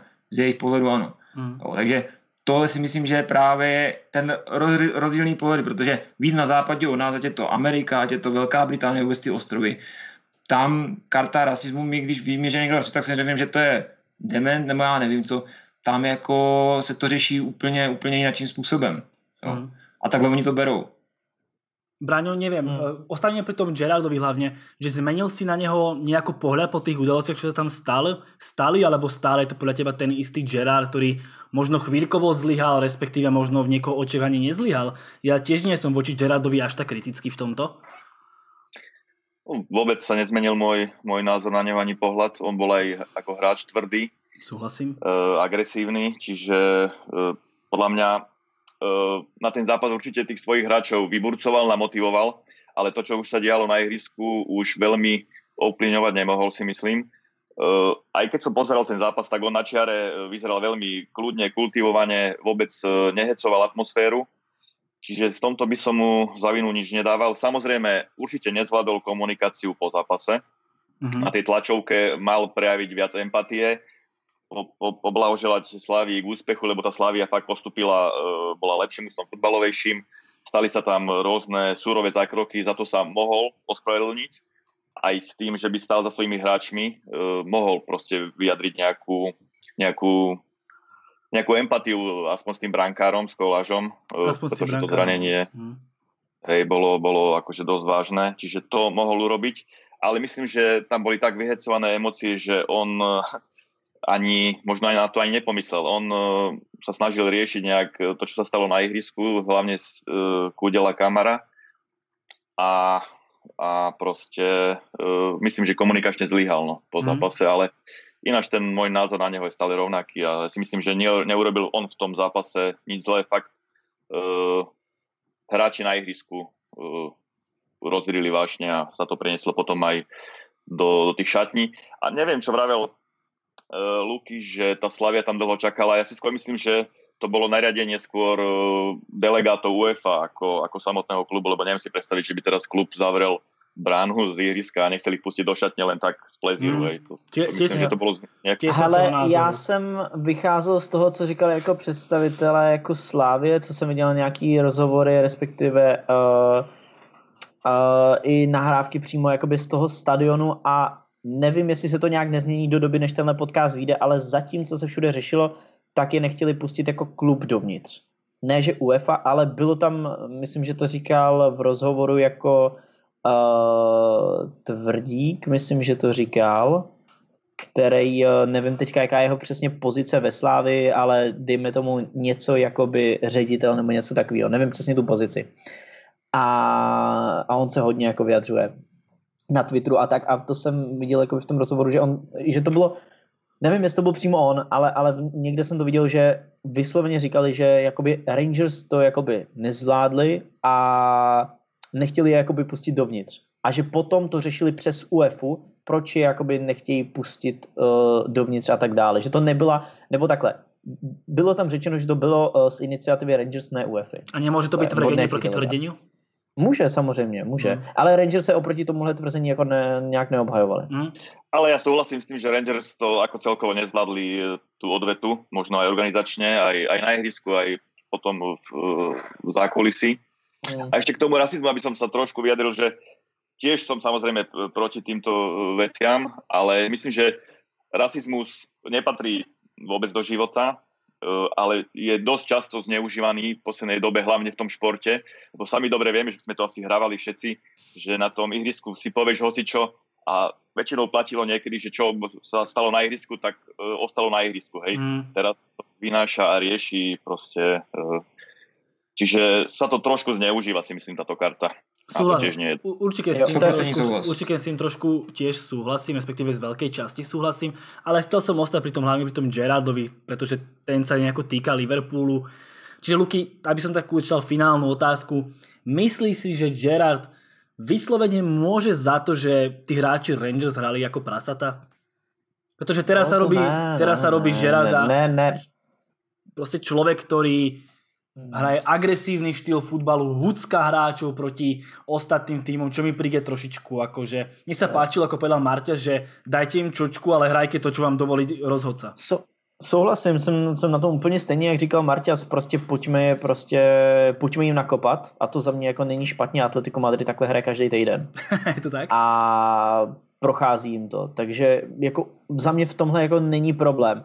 Problém eh, za mě bylo potom, že jednak to rozhodčí to nezlá, to, že prostě hráči tam byl, ještě předtím, než, eh, než přišla ta situace Kudela Kamara, tak tam byl Ehm, myslím, že to byl Kuchta na zemi nebo nějaký hráč Slávie a dvakrát ho kopli na zemi, když ležel prostě. Mm. Víš, že byl sfalovaný, první ho kopl, přiběhl druhý, kopl ho znova. Eh, míč o míč, teda jako než by kopli přímo do hráče, ale vzali míčem a fakt jako kopli do něj, víš co. A tohle už jsou věci, které za mě jako nejsou tvrdý, ale už jsou prostě zbabělý a totálně a v tu chvíli tam přiběhl Kudela a nevím, co jako, nevím, co přesně řekl, ale já, já jsem v tu chvíli byl jako totálně vyhrocený tady jako doma u té televizi, když jsem viděl, co tam dělal, já jakože jsem měl úplně nervy třeba, co dělali hráči hmm. Rangers. To je samozřejmě, kdyby se mě ptal v tu dobu, tak bych Gerarda totálně nenáviděl při tom zápase, jakoby.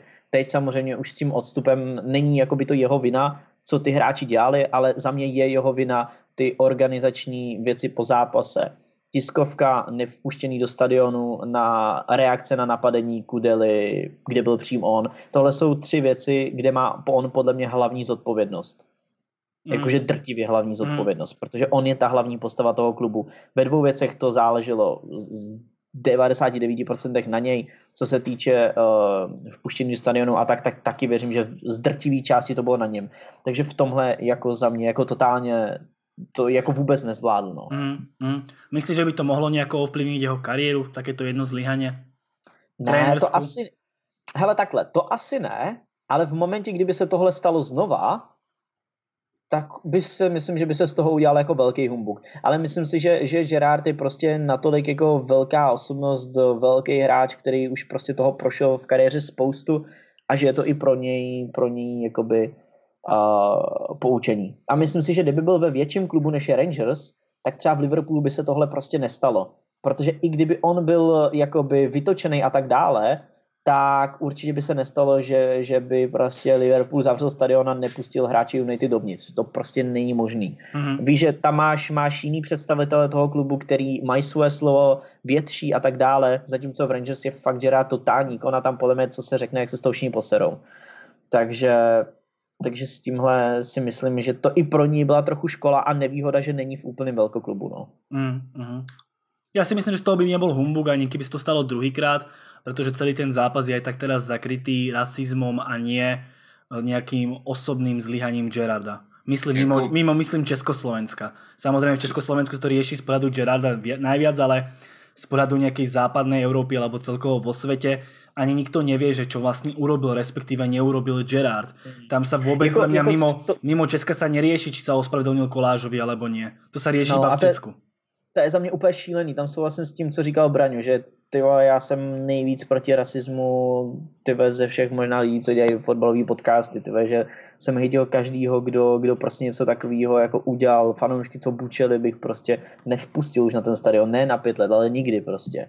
A, nebo co, co mají jako rasistický podtext a tak, ale souhlasím s tím, že v některých případech je to fakt, je to fakt jako přehnaný a já ne, zase, v momentě, kdy se to jako stalo a kdy ho urazil rasisticky, OK, ale tady ani není fakt ten jako důkaz, vlastně vůbec žádný.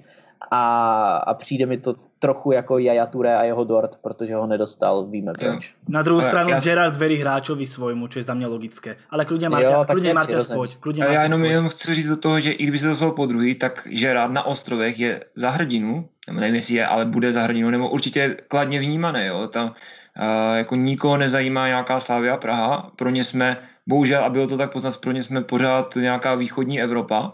Tohle, tohle jako takový opovržení jde i trošku prostě cítit celkově z fan a celkově z toho přístupu.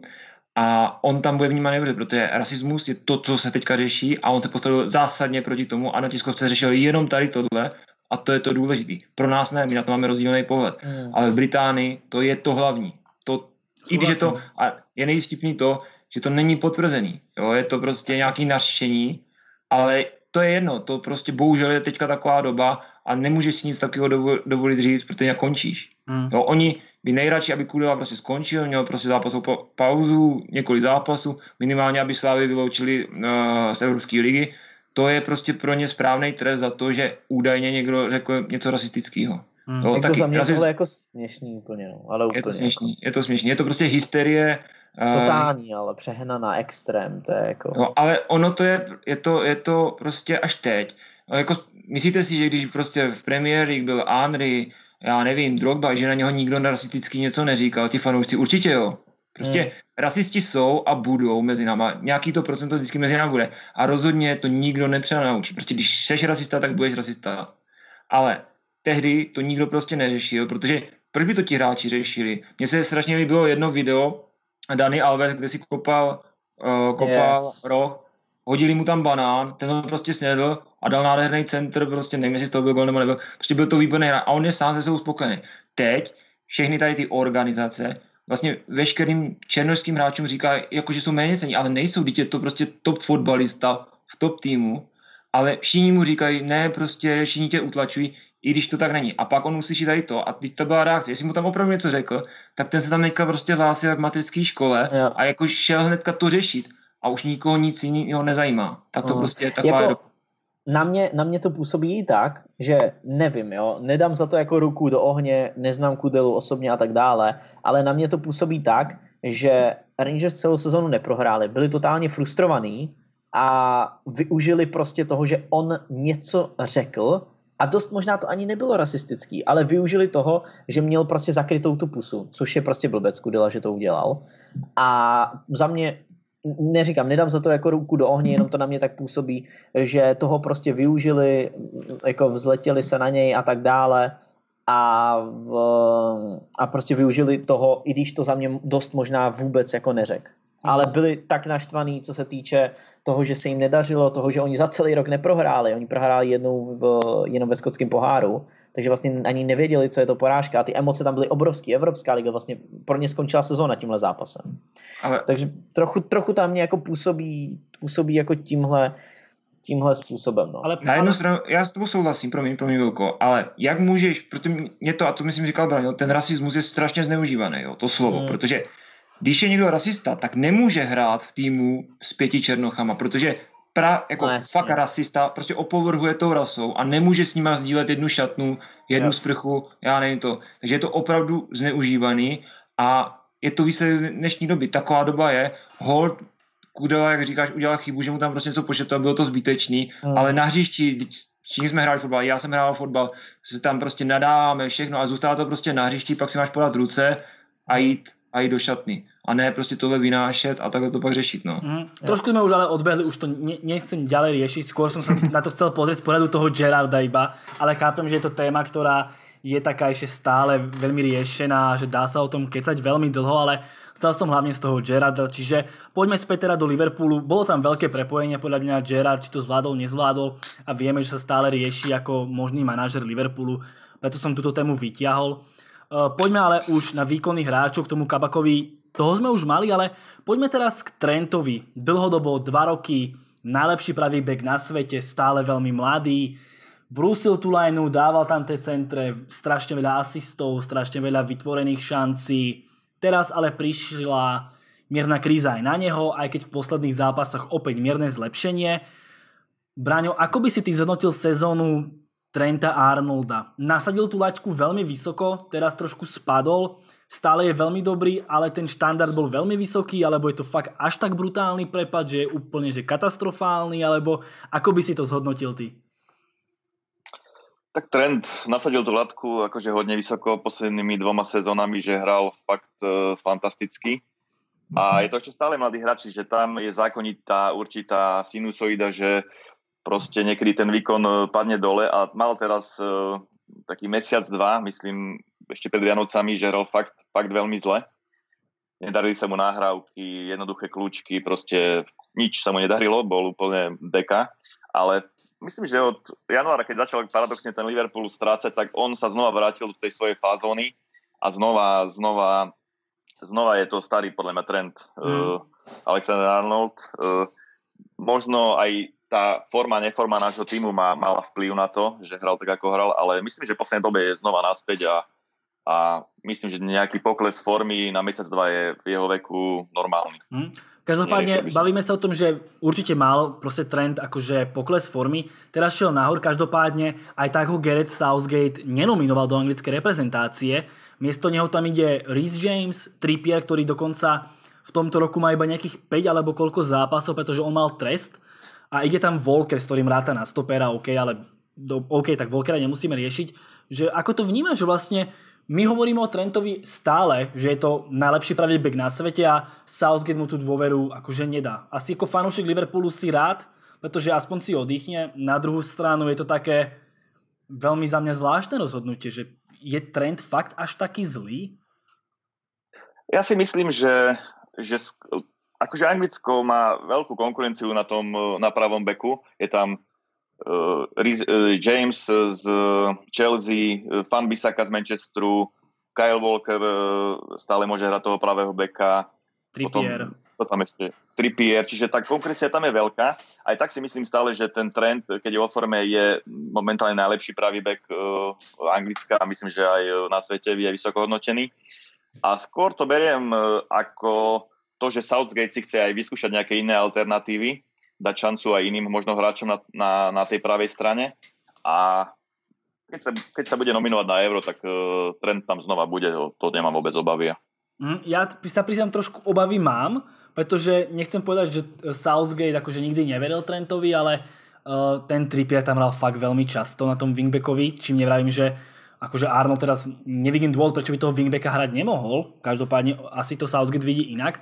Ja trošku obavy mám, ale tajne dúfam, že je to také, že nenominujem ho a možno ho nakopnem k lepším výkonom. To tak tajne dúfam, že si možno trend povie, ty vole, tak ja to euro nemám vôbec isté, tak ešte viacej maknem. Dúfam, že je to tento scenár a že Arnolda uvidíme na eure. Luky, čo ty a Trent Arnold v tejto sezóne a možno aj to, že ho nenominoval akože ten Southgate, jo. že je to šok podľa, akože pre teba, že ho nenominoval?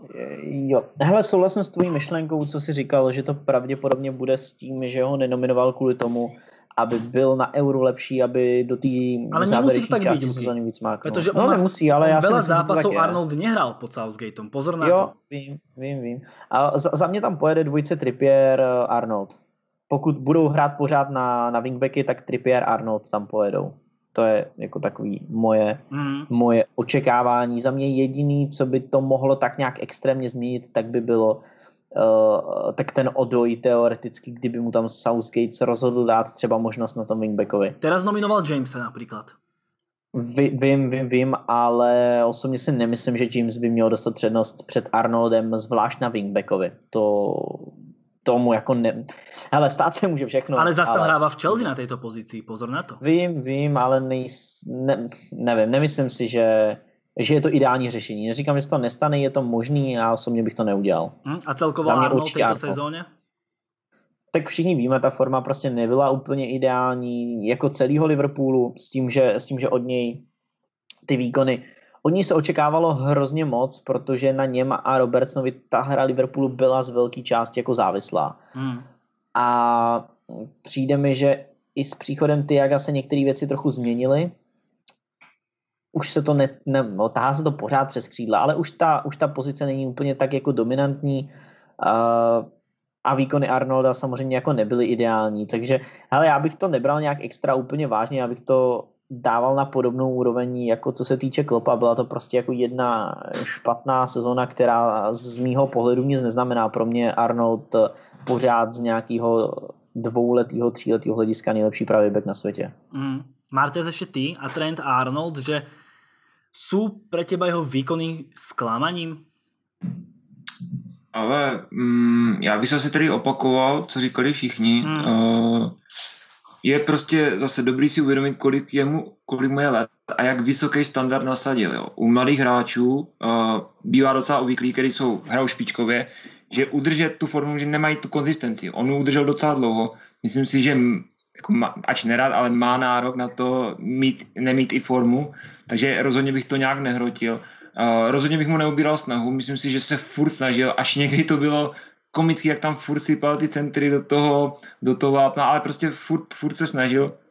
A já ho rozhodně nezatracu, taky ho pořád radím mezi nejlepší, nejlepší beky na světě a jako m, už, už, už, už se zvedá, už, už to začíná trošku vypadat zase líp Uh, jako o něm by se rozhodně nebál, myslím si, že ten ještě, ten ještě nás přesvědčí. A vadí ti jako, fa- vadí ti jako fanouškovi Liverpoolu, že ho nenominovali do anglické reprezentácie? Vůbec ne. Teďka, teďka vůbec ne. Teďka vůbec ne. Myslím si, že na euro, jestli nepojede, tak to bude, jak ty říkáš, škandál. Bráňo, a ty, ako, ako to vidíš? Protože fanúšikovia sú často radi, keď ich, vlastne ich hráčov nenominujú ani na euro, ani na tej kvalifikácie my sme, myslím, že všetci šťastní, že tam nie je ani jeden hráč Liverpoolu v tej anglickej repre. Sme šťastní, že ani naši Brazílčania nemohli odcestovať do Južnej Ameriky. Čiže ten tým je pokope a Klopp získal nejaké dva týždne e, znova na, vylade, na vyladenie formy, čiže ja v tom vôbec problém nevidím, dokonca som, som, som rád, že, že tam nešiel. A ešte, aby som sa vrátil k tej forme Alexandra Arnolda, ešte tam vidím jeden taký point, že prečo aj tá jeho forma nebola taká dobrá znova sa vrátime k stoperom, že naši obidvaja wingbacki potrebujú určitú, určité zabezpečenie zo zadu, aby mohli tie svoje útoky, útoky tie, tie výpady po krídlach podnikať. Potrebujú aj zabezpečenie zo zálohy, čo zabezpečoval Henderson. A tým, že vlastne naša stoperská dvojica bola taká, aká bola, tak tí, tí krajní beci nemali toľko voľností, museli hrať skôr defenzív, museli mať skôr defenzívne úlohy. A aj to, že Henderson hral na stopera, tak vlastne v tej zálohe chýbalo krytie pre, napríklad pre Alexandra Arnolda, alebo že dosť často ho Henderson na tej pravej strane kryje, keď ide mm. Alexander Arnold dopredu. Čiže myslím, že aj to uh, malo určite vplyv na jeho formu a na jeho to, ako vyzeral na tom ihrisku, že nevyzeral úplne komfortne. Súhlasím, pretože jo. E, pri Arnoldovi sa často vlastne rieši to, aký je jeho ofenzívny vplyv. A tým pádom, keď už do toho priestoru možno nemôžeš až tak ísť, e, nemáš takú voľnosť, ako si povedal, tak už potom zrazu si všetci myslíme, že Arnold hrá akože vyslovene zle, lebo tam nesýpe jeden asi za druhým, že vždycky Arnolda posudzujú všetci výhradne iba podľa ofenzívnych štatistík, respektíve ofenzívneho prínosu. Pretože to je štandard, ktorý si nejako nastavil. Potom tu je napríklad fan Bisaka, ktorého tak v živote posudzovať nebudú. Takže aj to má určitě velký vplyv. Někdo mi tam ještě chcel skočit, nevím, či to byl Martin. Jo, jo, ne, ne, já jsem chtěl jako říct, že souhlasím, že je dobrý, že jsme to zmínili. Nicméně i jeho souhra s Gomezem, se kterým vlastně hráli i v reprezentaci, tak má na to taky velký vliv. Jo? Mm. To bych taky určitě ještě zmínil. Poďme, poďme teraz ale na ďalšieho hráča, ktorý, o ktorom sa dosť hovorí a má nejakú možno formu, akú sme nečakali. Luky to je Tiago. Ten prestupoval do Liverpoolu ako hráč, ktorý patril najlepšie na svojom poste. Teraz je často kritizovaný, v vode sezóne sa zranil, OK. Um, keď som sa pozeral na nejaké detálnejšie čísla, štatistiky, tak sú úplne identické s predošlými rokmi, akože v Bundesliga, čo týka prihrávok do poslednej tretiny hryska a podobné veci. Hmm. Uh, ale aj napriek tomu je stále kritizovaný, s čím ja samozrejme súhlasím, pretože Tiago fakt nehrá tak, ako hral v Bayerne. Uh, možno čoho by to mohol byť dôsledok, respektíve výsledok a čo si od neho ty možno očakával v Liverpoole? Um, tak Tiago to má těžký, protože on není ten hráč, který ti dá gol nebo úplně finální přehrávku. To je jako první věc. Uh, u kterými tak nějak přijde, že fanoušci Liverpoolu jako buď to nevěděli, nebo s tím nepočítali, nebo čekali, že ho změní jako ve 30. A to je jako asi první věc. To tu mám přesně napísané, že či fanoušikové Liverpoolu nečekali, že to bude nový KDB. No, to právě. Takže to je asi jako první věc za mě v momentě, kdy začne, začne fungovat Liverpool v ofenzivní části, tak Tiago bude velebený to je asi takový jako můj, můj pohled, že v momentě, kdy Liverpool začne vyhrávat, tak najednou to tam bude, že, že Tiago hezky zpomal, nebo hezky, jo, zpomaluje tu hru, že dokáže dát průnikovou přihrávku a, a všechny jakoby tyhle věci. Takže eh, taky za mě hodnocení, se kterým bych si počkal do příští sezóny v momentě, kdy Liverpool bude, bude jakoby víc fungovat, jenom pro něj je důležitý, aby, ne, aby on neměl být ten nejvytaženější ze všech. Jo. V momentě, kdy bude hrát s Hendem a s Fabíněm, tak jako já si nedovedu představit, že on bude v Liverpoolu úspěšný. On prostě Tiago vynikal v tom, že hrál ze zataženější pozice. Za, ní, za mě jako on je nejlepší ve 4-2-3-1 ve dvoučlenný záloze. Mm. Čiže ty si Například... myslíš, že právě uh, ta, to, ta rozostavení s Fabínem a Hendersonem mu nemůže právě pomoct? Neříkám, že nemůže, ale fúha. Nechceš Tiaga vidět vysoko prostě... Ne, to vysoko. nikdo nechce. Je to tak? Ako to, to sa práve akože často rieši, že Tiago je veľmi vysoko na ihrisku. Ne, ne, na druhej ne, strane Tiago ideálne, ideálne zloženie Liverpoolu, zálohy Liverpoolu je za mňa stále Fabinho, Henderson, niekto. Souhlasím, souhlasím, no. A teďka je otázka, jestli se bude hrát příští rok 4-2-3-1, nebo se bude hrát furt 4-3-3, tam těch variant je jako víc, mm. no. Tam za mě ale by měl hrát uh, v pozici, kde nebude prostě běhat v poslední třetině hřiště, ale naopak bude z hloubky hřiště dávat přihrávky do poslední třetiny. To je za mě jako úplně klíčový, protože on ti dokáže otevřít ty týmy, on ti je dokáže, uh, dokáže otevřít, ale potřebuje, potřebuje na to, aby nějakým způsobem tam byl ten hráč, který dá tu úplně finálku. No. A tam v Liverpoolu na tohle chybí desítka, protože Hendo to není, Fabinho taky ne a Tiago taky ne. Mm-hmm. Brian, čo, ste, čo si možno ty očakával od Tiaga Alcantaru, respektíve ako ho hodnotíš po tom pol roku, tri štvrte roku, ktorý má za sebou? No, v Liverpoole sa dosť e, často volá, aj volalo po kreatívnom dispečerovi, kreatívnom záložníkovi, ktorý vie dať nahrávku, ktorý vie rozdať lopty. Takže sme tam mali skôr takých skôr pressingových psov, hej, Wijnaldum, Henderson, uh, uh, Fabinho. prišiel, prišiel Kejta vlastne asi pred dvoma rokmi, ale ten tiež vinou zranení uh, ne, začal ten svoj potenciál nenaplnil.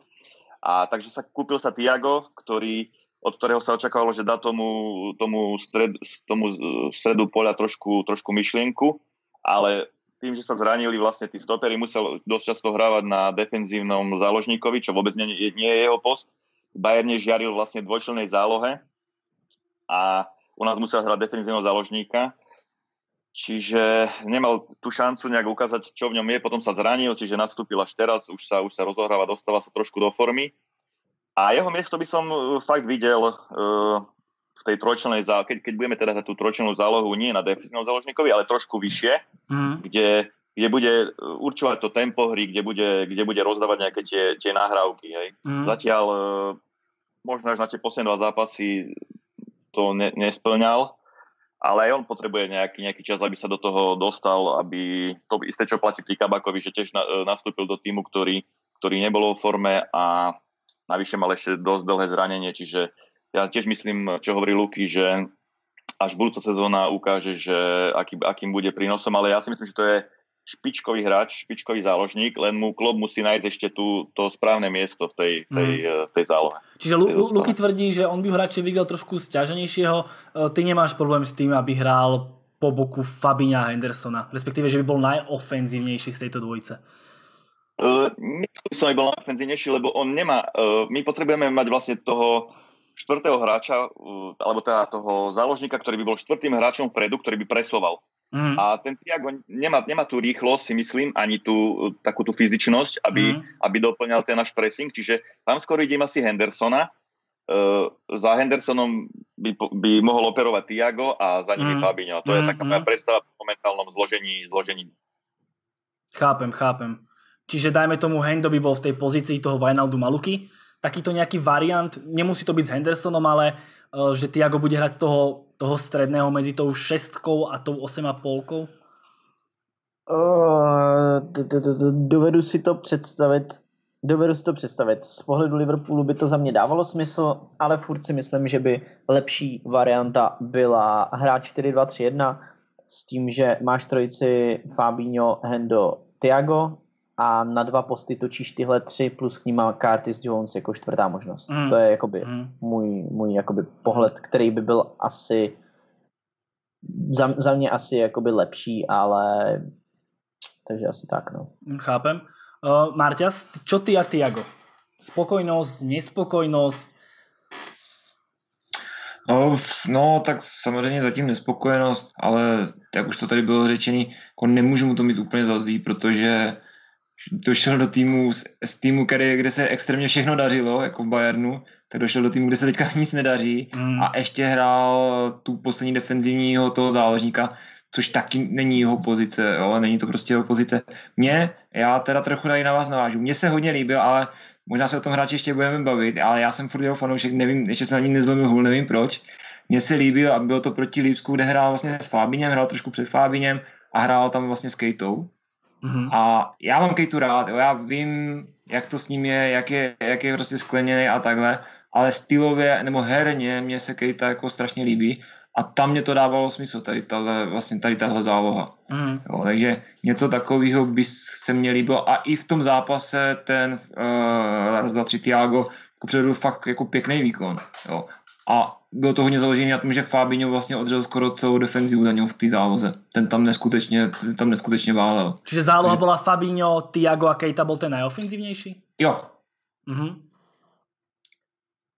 Tam, by, tam sa ti to pozdávalo. Každopádne fanúšikovia od neho čakali kreativitu. Uh, Tiago je podľa štatistik 5. najkreatívnejší hráč po Manem, Salahovi, Firminovi a Trentovi, Alexandrovi, Arnoldovi ale ak si od neho očakávali nejaké finálky, ako má KDB alebo Bruno Fernández, tak to Tiago nikdy nedokázal a vlastne nikdy to ani mm, takto nehral ani v, ani v Bayerne Mníchov. Tam od toho boli iní hráči, ktorí dávali tie úplne že finálky. Skôr jo. dával Tiago tie predfinálky. Každopádne, presúvame sa na ďalšiu, asi takú skoro poslednú, takú väčšiu tému. To sú letné, e, letné posily. Kto je priorita? Samozrejme, bude sa to odvíjať od majiteľov, koľko pustia peňazí, od pandémie, možno od účasti v Lige majstrov, s čím jednak súvisia možno ambície hráčov a taktiež peniaze.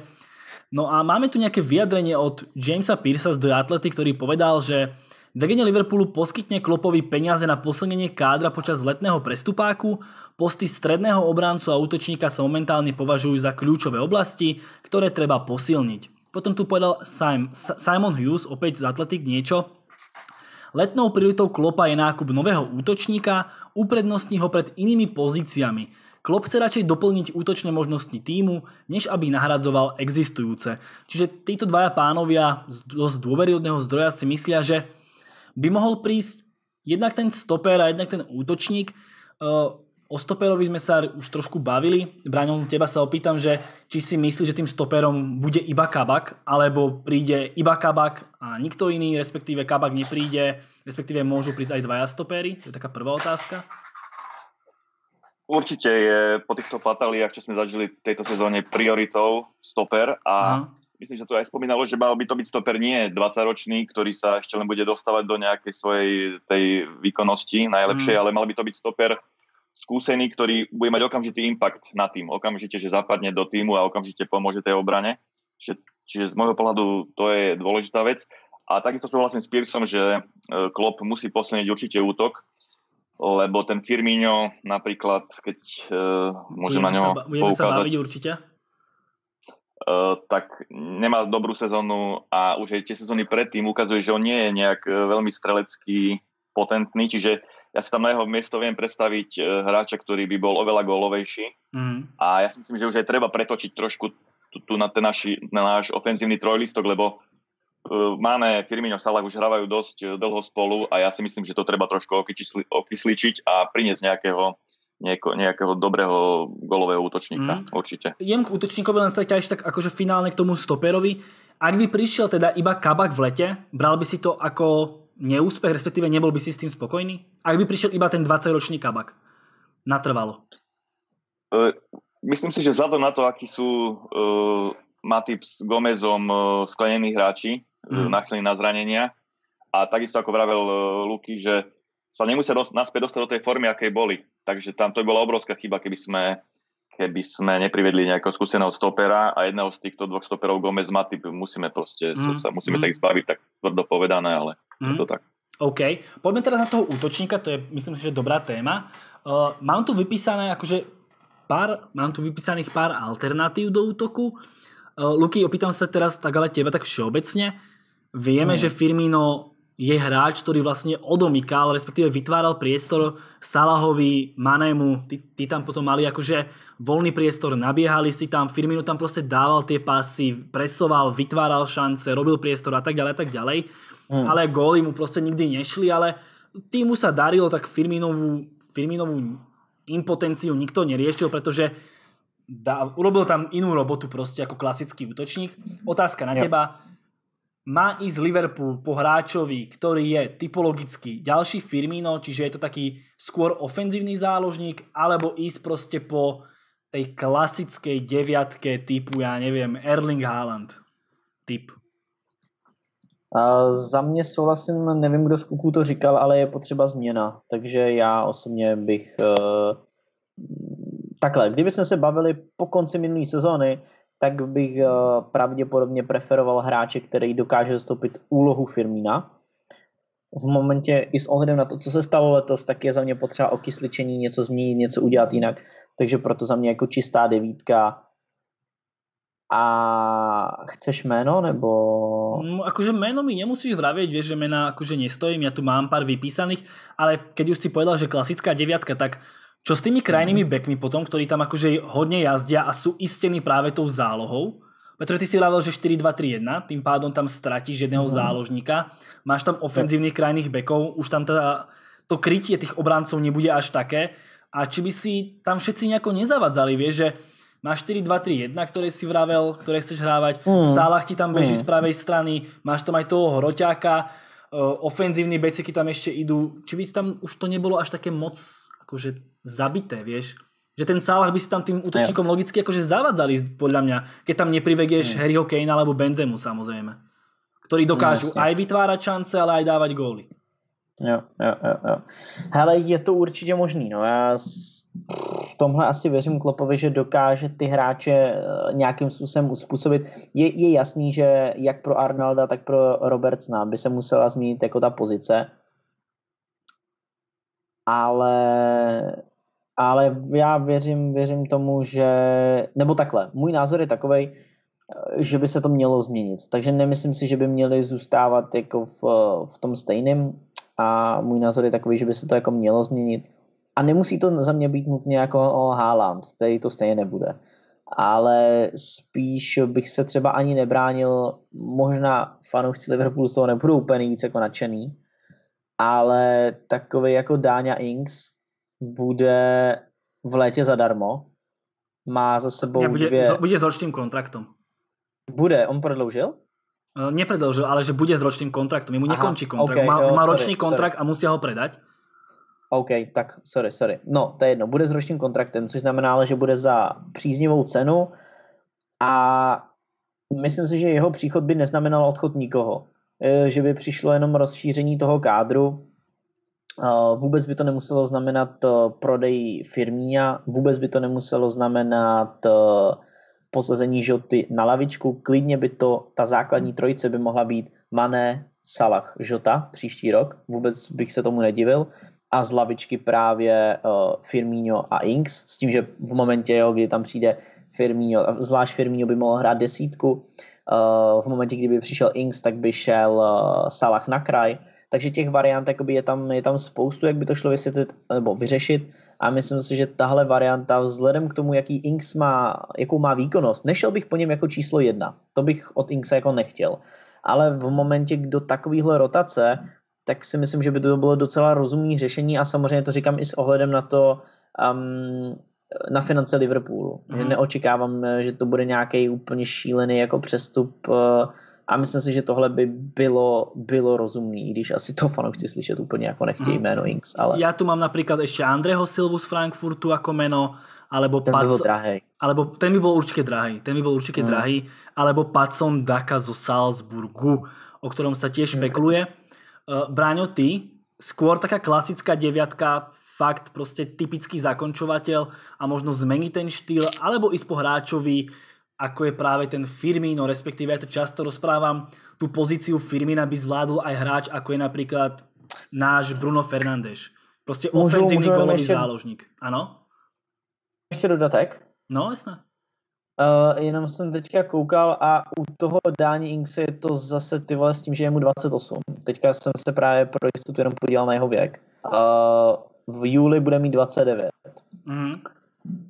Ty ale v ten moment bych do něj asi nešel a ne kvůli tomu, že 29 je starý, oh, sorry, že to, že to teďka beru zpátky, ale z pohledu toho, že Salah, uh, Mane i Firmino mají, mají taky 28-29 všichni. Mm. A v mhm. momentě, kdyby ti měli jako v úzovkách eh, všichni hráči končit najednou, tak bych do něj nešel. Takže sorry, beru zpátky a šel bych jenom doma. Podobného typologicky hráče, který nebude jako číslo jedna superstar, ale bude to nějaký mladší hráč, dejme tomu do 25 let. Ale gólový už Jenom musí být. Je, jo, určitě, určitě hráč, který dává góly, určitě, mm. určitě. Braňo, ty ako to vidíš? Skôr tá falošná deviatka sú... Firmino, alebo útočník klasický, hviezdný útočník, alebo aký útočník? No porovne si ne, nemyslím, že Klopp bude nejak zásadne meniť e, to postavenie jeho obľúbené 3-3-3. E, čiže skôr by bolo asi dobré kúpiť niekoho typologicky e, podobné, podobného Firminovi, Uh-huh. Ale to, čo povedal Luky, to ako si myslím, že takto to aj Liverpool vyrieši, že ak nepredá nikoho z týchto troch hráčov, ktorí momentálne hrajú v tom útoku, tak sa bude snažiť kúpiť niekoho za rozumné peniaze a skôr do rotácie a, a skôr na, takú, na také vytvorenie konkurencie, aby posunul možno aj toho Firmíňa trošku tým tlakom na jeho pozíciu do tej, do, tej, do tej lepšej formy. To sa už vlastne stávalo s tým Žotom, že Jota sa už pomaly dostal na jeho miesto, už začal preferovať klop e, na, na miesto Firmíňa Žotu, ale potom sa Žota zranil a vlastne znova to muselo ostať pri starom. A vidíme, že ani Origi mu nedáva šancu, klop, keď bol zranený Žota, čiže tam to indikuje, že by ten nový hráč, e, nový útočník mal určite prísť. A znova opakujem sa, súhlasím s Lukým, že to skôr ako nejaká hviezda, na ktorého hlavne na jeho plat uh, Holanda alebo Mbappého určite peniaze mať nebudeme. Mm. Tak príde nejaký typovo, typový hráč uh, daný ďalší, Moinsa, uh, ďalší rýchly, agresívny gólový. Asi tak. Myslíš, že sa nebude báť Liverpool, že pribege ďalšieho Minamína? Ktorý sa nepresadil? Ja, myslím, že, že uh, asi nie, že majú vyskautovaných hráčov. Ten Minamino aj pre je trošku uh, než by by som failom, lebo ale skôr ne, neviem, kde ho mám zaradiť, či to je záložník alebo útočník. E, nepasuje mi vlastne nikde do nejak, na nejaké, nejaké miesto, kde by mohol vytvoriť konkurenciu, čiže, čiže skôr taký typ Dannyho Inksa by som bral mm. ja. Mm, mm. v tom období. Aha. Uh, Marťas, ako to vidíš ty? Hráč typu Firmino, taký ten kreatívnejší záložník, respektíve ako povedal Luky, že nejaký Danny Inks, taký, že hráč, ktorý vytvorí tlak, ale nie je jasná jednotka, alebo by si šiel proste priorita, útočník, ktorý dáva proste bomby góly a je jasná jednotka. No. No, já bych šel, já bych tu změnu chtěl, já bych tu změnu chtěl o toho 4-3-3. A mně se líbilo a podle mě to byl nejlepší výkon v naší sezóně, první zápas proti City, kdy jsme hráli 4-2-3-1, kde mm. hrál vlastně Firmino, vlastně hrál e, desítku, vlastně na hrotu byl ten, na hrotu byl Salah, vpravo byl, vpravo byl Žota, byl Mane. A to jsme hráli podle mě jako nejlepší, nejhezčí fotbal. A to já bych chtěl, já bych tu změnu chtěl už. Jo. Mně to přijde, mně i přijde, a je to možná jeden z těch faktorů, který jsme tady nezmínili, co se týče té tý formy toho Liverpoolu, že mi už dost přijde, že se všechny ty týmy fakt na nás naučili hrát a i, že i to má prostě něco, něco do sebe. Že jak furt prostě Klopp hraje to stejný, takže už jsou na to připraveni, hlavně ty menší týmy, který, který hodně brání proti nám. Takže já bych šel určitě do změny, šel bych do nějakého strikera, Ink se rozhodně ne, ale teď mě fakt jako nemám alternativu, hlavně nikdo nenapadá, hmm. ale já bych spíš viděl, protože Firmina mám rád, ale viděl bych ho spíš na to, na tom, na tom závodníkovi nejvyšší na té desíce, no, to by tam mi se mě líbilo. Luky, keby si viděl firmy jako desiatku, tak přišel by ti jako kvalitné řešení? Mm, jako možnost určitě jo. Ale jako prvá volba? Jo, jako dovedu si to představit. Dovedu si to představit. V momentě, kdy tam přijde jako ještě útočník, je tam vlastně i Shakiri, tak těch variant je tam za mě dost. Může tam hrát Jota, může tam hrát Firmino, může tam hrát Shakiri. No, v momentě, kdy tam bude jiný útočník, tak mm, jo, mně se, mně se tahle varianta líbí. Neříkám, že Firmino by byl jasná jednička na té desítce, ale určitě bych se nebál mu dát šanci na začátku a v momentě, kdyby to nefungovalo, vždycky se to může protočit, vždycky se to může vyměnit a těch variant je tam fakt jako spoustu. Nebránil bych se ani tomu, aby Žota byl na desítce, takže víš, těch variant je tam jako hodně, no. Hmm. Mně pri té formácii 4-2-3-1 vadí právě to využívání těch krajných bekov, toho by som sa extrémně bál. Ako zabiť jo, jo, potenciál Arnolda. Je to dobrý point, je to dobrý point, no určite. zabiť potenciál Arnolda, Robertsona a ísť do 4-2-3-1, ja neviem, či toto správne riešenie. Mi sa preto nepáči ten prechod na 4-2-3-1, pretože máš dvoch mm. najlepších krajných bekov na svete. Stále to tvrdím, aj keď tá forma možno nie je ideálna, ale sú dva najlepšie krajní beci.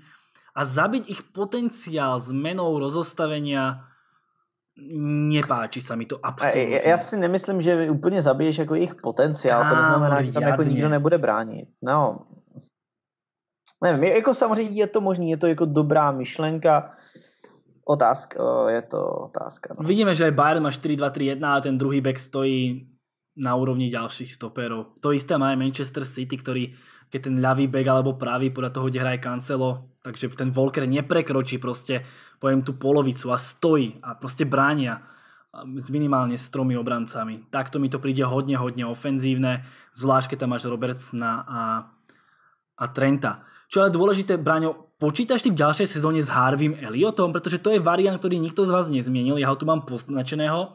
Borec síce drtí v Championship 5 plus 10, ale má iba 17 rokov, ale fakt drtí tu Championship. Čiže nemôže byť on nejaké takéto riešenie, alebo ho vidí skôr na ďalšom hostovaní, po prípade ako alternatívu miesto, miesto toho Salaha napríklad? Tak ešte asi tú výkonnosť Salahu nebude mať ani, ani ďalší rok, aj keď bude mať 18 rokov už. Aha. Ale je to obrovský talent a myslím si, že keď mu vyjde dobre, dobre letná príprava s týmom, tak by si ho mohol klub nechať a pomaličky mu začať dávať šancu a on by sa pomaličky do, toho, do tej zostavy dostal a ja si myslím, že je to naša budúcnosť Liverpoole a že to bude raz veľmi platný hráč, lebo ako ten talent tam je obrovský. Takže určite Eliota vidím veľmi pozitívne. Neviem, či už na, v budúcu sezónu, ale tu ďalšiu určite si myslím, že bude, že bude platným členom. Počkal by si si na prípravu teda? Určite, lebo ako aj posledné roky, čo vidím, ako, ako nárába s tými mladými hráčmi Klopp, či to už bol Alexander Arnold alebo alebo Curtis Jones.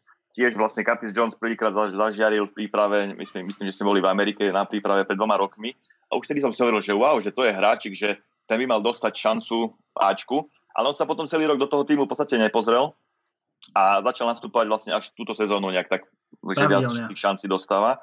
To si myslím, že sa bude deť aj s Eliotom, že keď sa mu podarí tá letná príprava, tak možno si ho nechajú už v týme, ale alebo teda v kádri, bude trénovať začkom, ale nebude tých šancí dostávať nejak veľa a presadí sa až tak až tú obsezónu ďalšiu, asi, asi tak to nejak vidím s tým. Mm. Luky, bolo by v prípade Eliota podľa teba správne, aby šiel na hostovanie? Aj v ďalšom roku? Mm, záleží, jakou pozici nebo jak moc s ním klub počítá. Za mě by měl hlavně hrát, to je to nejdůležitější ze všeho. A mm, je jasný, že fajn v jeho, ti fajn v jeho veku eh, hrať, ale hrať dajme tomu v Newcastle? Protože to je za mě zabitě toho. To volí Jasně, mě ale tak v Liverpoole. Chápu, ale my se, je dobře, vždycky záleží, aby to hostování bylo nějakým způsobem inteligentní, aby to dávalo smysl. A za mě by měl jít určitě hostovat takhle, v první řadě. V ideálním případě by měl zůstat v Liverpoolu. Otázka, jak moc, by, kolik prostoru by mu dal klub. I kdyby to bylo jenom občas, tak si myslím, že by to dávalo smysl. Tak byl by až momentě, šestka. Jo, jako jo. Ale zase to mladý kluk mohl by, ten, mohl by ty šance dostávat a tak dále. Ale uh, v momentě, kdyby ty šance nedostával vůbec, tak určitě hostování. Ne, nemyslím si, že by za mě bylo úplně ideální řešení, aby trénoval s týmem a nehrál. Uh, minimálně v těch pohárech by za mě měl hrát ligový pohár, FA Cup a aspoň na pár minut eh, z, lavi, z lavičky i v Premier League, aby dostával postupně jakoby ty šance proti menším týmům za rozhodnutý stavu a tak dále. Uh, pokud by měl jít na hostování, tak určitě do týmu, který eh, hraje v ideálním případě podobný fotbal jako Liverpool, anebo minimálně chce hrát s míčem na noze. Prostě ne, ne styl Stoke City 2006. Mm. Jo, prostě, nebo nejít do Newcastle nejít do, kdo teďka hraje, jako Newcastle, nejít do Barnley a do těchto týmů. To jako za mě ne, za mě vůbec ani není potřeba jít do Premier League. Za mě úplně v pohodě může zůstat v druhé lize a klidně bych se ani nebránil tomu, aby zůstal v tom týmu, kde je momentálně. Tam už je na to zvyklý, no, předvádí tam dobrý výkony, oni už o něm vědí, takže proč, proč jakoby tam nezůstat ještě rok a nepotvrdit to? Hmm. Nemyslím si, že se musí za každou cenu hrnát do Premier League, kde by tu šanci dost možná v takhle mladém věku ani nedostal. To jsem chcel právě povedať, že ten vek může být takým, že OK má talent, ale stále má borec 17-18 rokov a teraz či vůbec nějaký tým Premier League by ho zobral? A už keby ho zobral, tak či by mu dával až takú dôveru.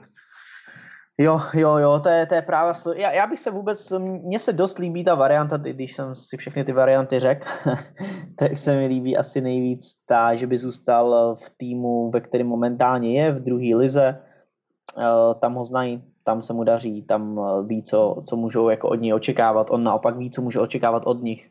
Mm. Přijde mi to jako ideální díl. Ne, netřeba to nikam za každou cenu hnát a příští rok eh, pokud se mu podaří i ta další sezóna, tak pak už může za mě rovnou do Ačka Liverpoolu a neříkám, že by hrál v základu, ale určitě by dostával mnohem víc minut, kdyby to potvrdil i druhý rok v řadě. Mm-hmm. Martez, ako ty vnímáš Eliota? Myslíš si, že už další rok bude súčasťou toho Ačka, respektive mal by být součástí Ačka?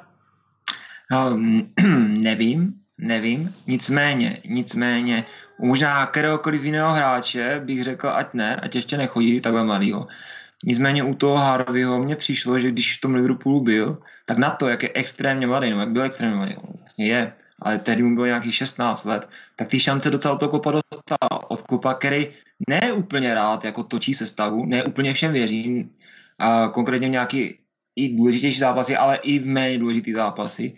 Curtis Jones, byl to tady řečený, vlastně dostal až podle mě jako pořádnou šanci tuhle sezónu, kdy nebylo zbytí a ty výkony předváděl docela pěkný.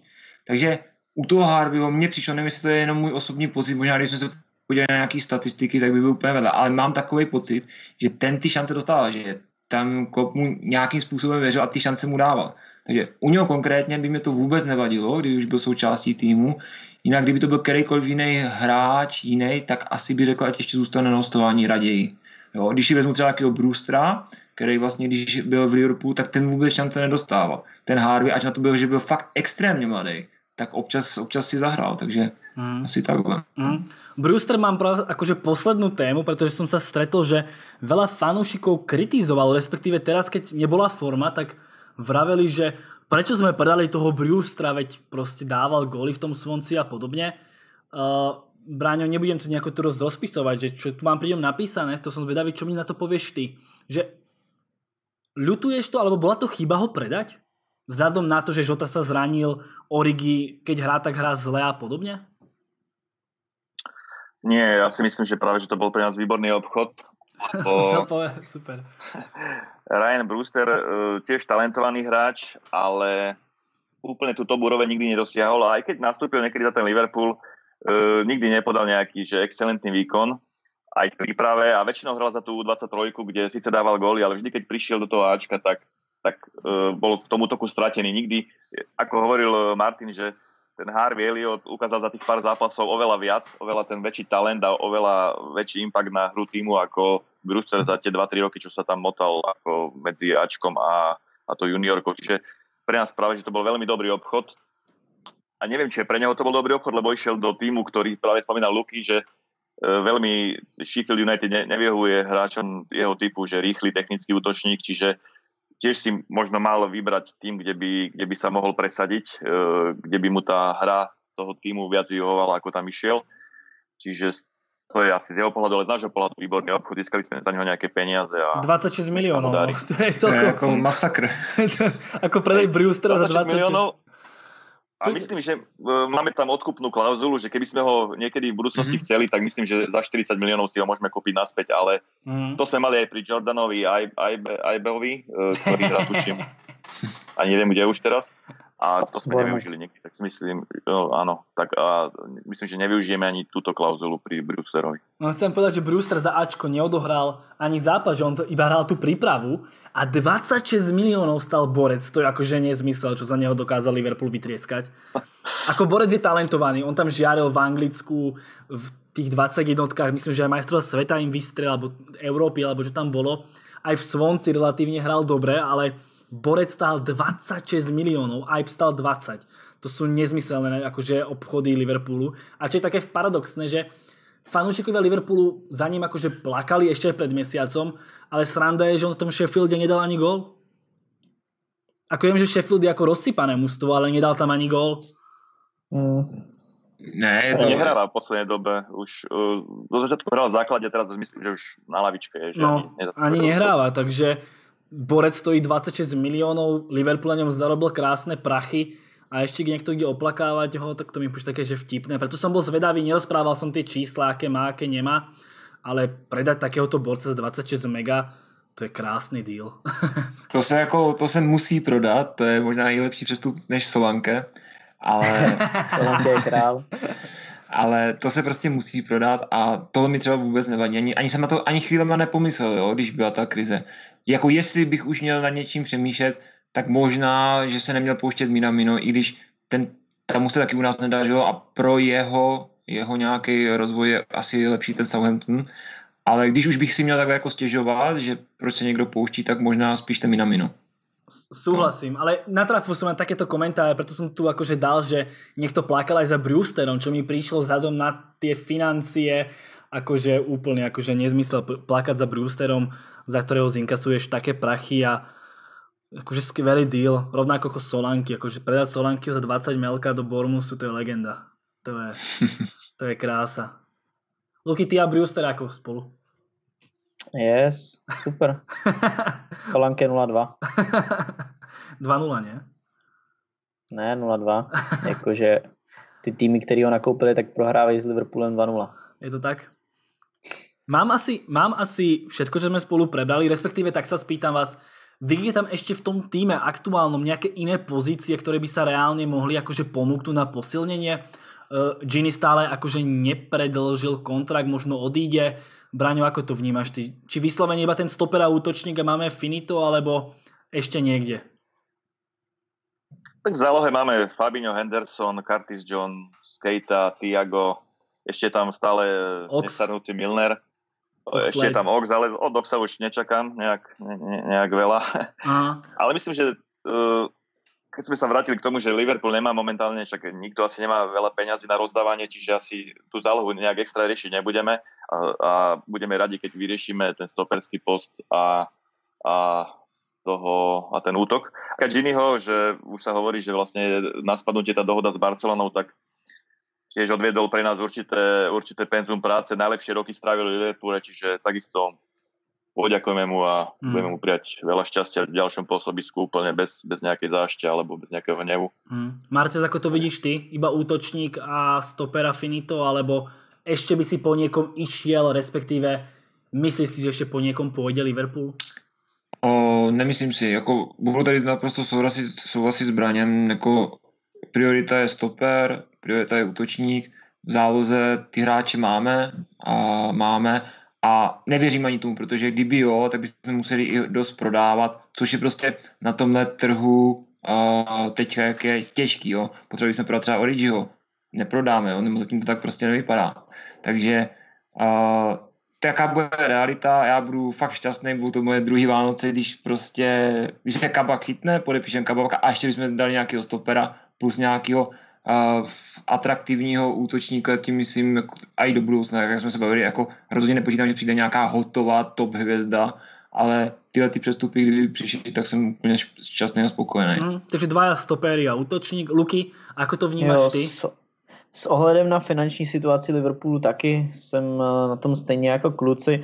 Samozřejmě v momentě, kdyby se podařil nějaký prodej ve stylu Origi, Ox, eh, Keita potenciálně, Gomez, Matip, těch hráčů, který by mohli odejít, tam fakt jako hodně.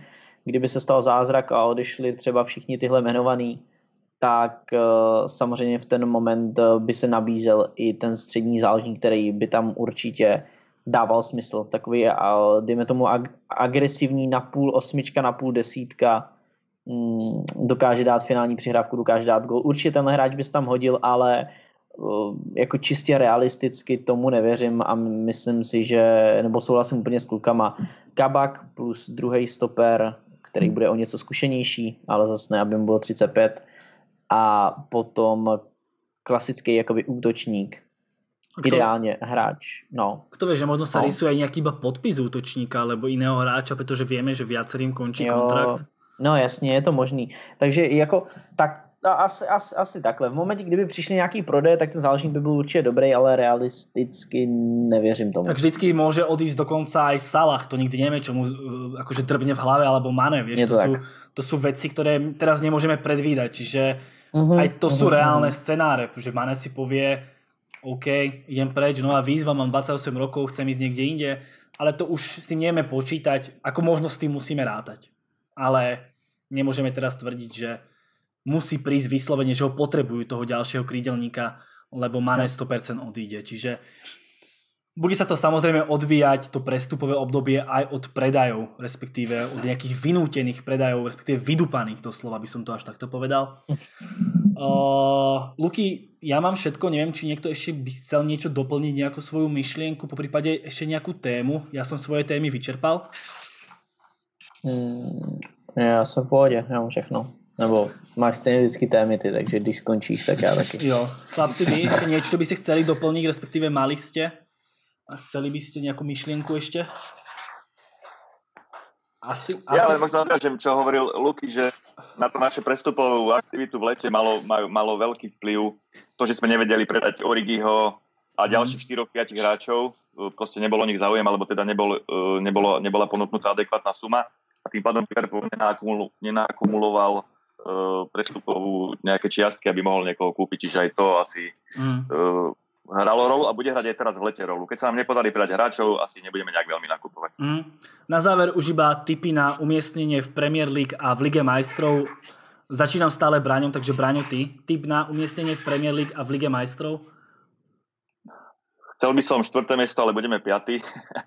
A v Lige majstrov myslím, že semifinále bude strop. OK. Marťas? Uh, já počítám taky uh, premiéry, počítám pátý místo a Liga mistrů finále. Ale nevyhrajem. OK. Luky? Mm-hmm. V Lize šestý, v Lize mistrů finále. OK. Ja, aby som to uzavrel, v Lige 6 a štvrťfinále. Ja favorizujem Real. No. Majú Benzemu. Dúfajme, že, dúfajme, že nemáš pravdu. Ma, majú, ma, ma, majú, ma, majú Benzemu. Ja, ja strašne toho roku verím. Po tom lose ja brutálne verím Realu, že oni v tej Lige majstrov pôjdu ďaleko, takže tým pádom musím dať, musím dať Real. Neviem prečo, ale tak ma nejako osvietilo s tým Realom, že hovorím si, veď oni majú celkom dobrý tým a majú Benzemu, tak to asi dajú. Čiže vôbec ma neprekvapí Real, keď vyhrá Ligu majstrov už v tejto sezóne, ale Uvidíme, samozrejme je to otvorené, kľudne to môže vyhrať Chelsea a nebo Porto bude. No, kľudne to môže vyhrať Chelsea, všetci nám budú vykrikovať, že ako ste kritizovali odchod Lamparda, my máme Tuchela víťaza Ligy majstrov, ktorého ale odvolajú po 4 mesiacoch od víťazstva v tejto Lige majstrov, čiže to je nepodstatné. Presne tak. čiže oni nám to vrátia potom v júni a my im to vrátime, keď ho odvolajú v decembri, takže bude to jednak jednej, čiže aj tento scenár sa samozrejme môže stať. Luky, za mě všetko a můžeš to nějak pekně uzavřít. Yes, yes, yes. Děkujem klukům, že dneska dorazili a přejem hodně štěstí, ať to kluci z Liverpoolu zvládnou a ta příští sezóna je lepší. Sice furt za United, ale o něco lepší než tahle. se uvidí. Čauko. A ahoj. se, ahoj.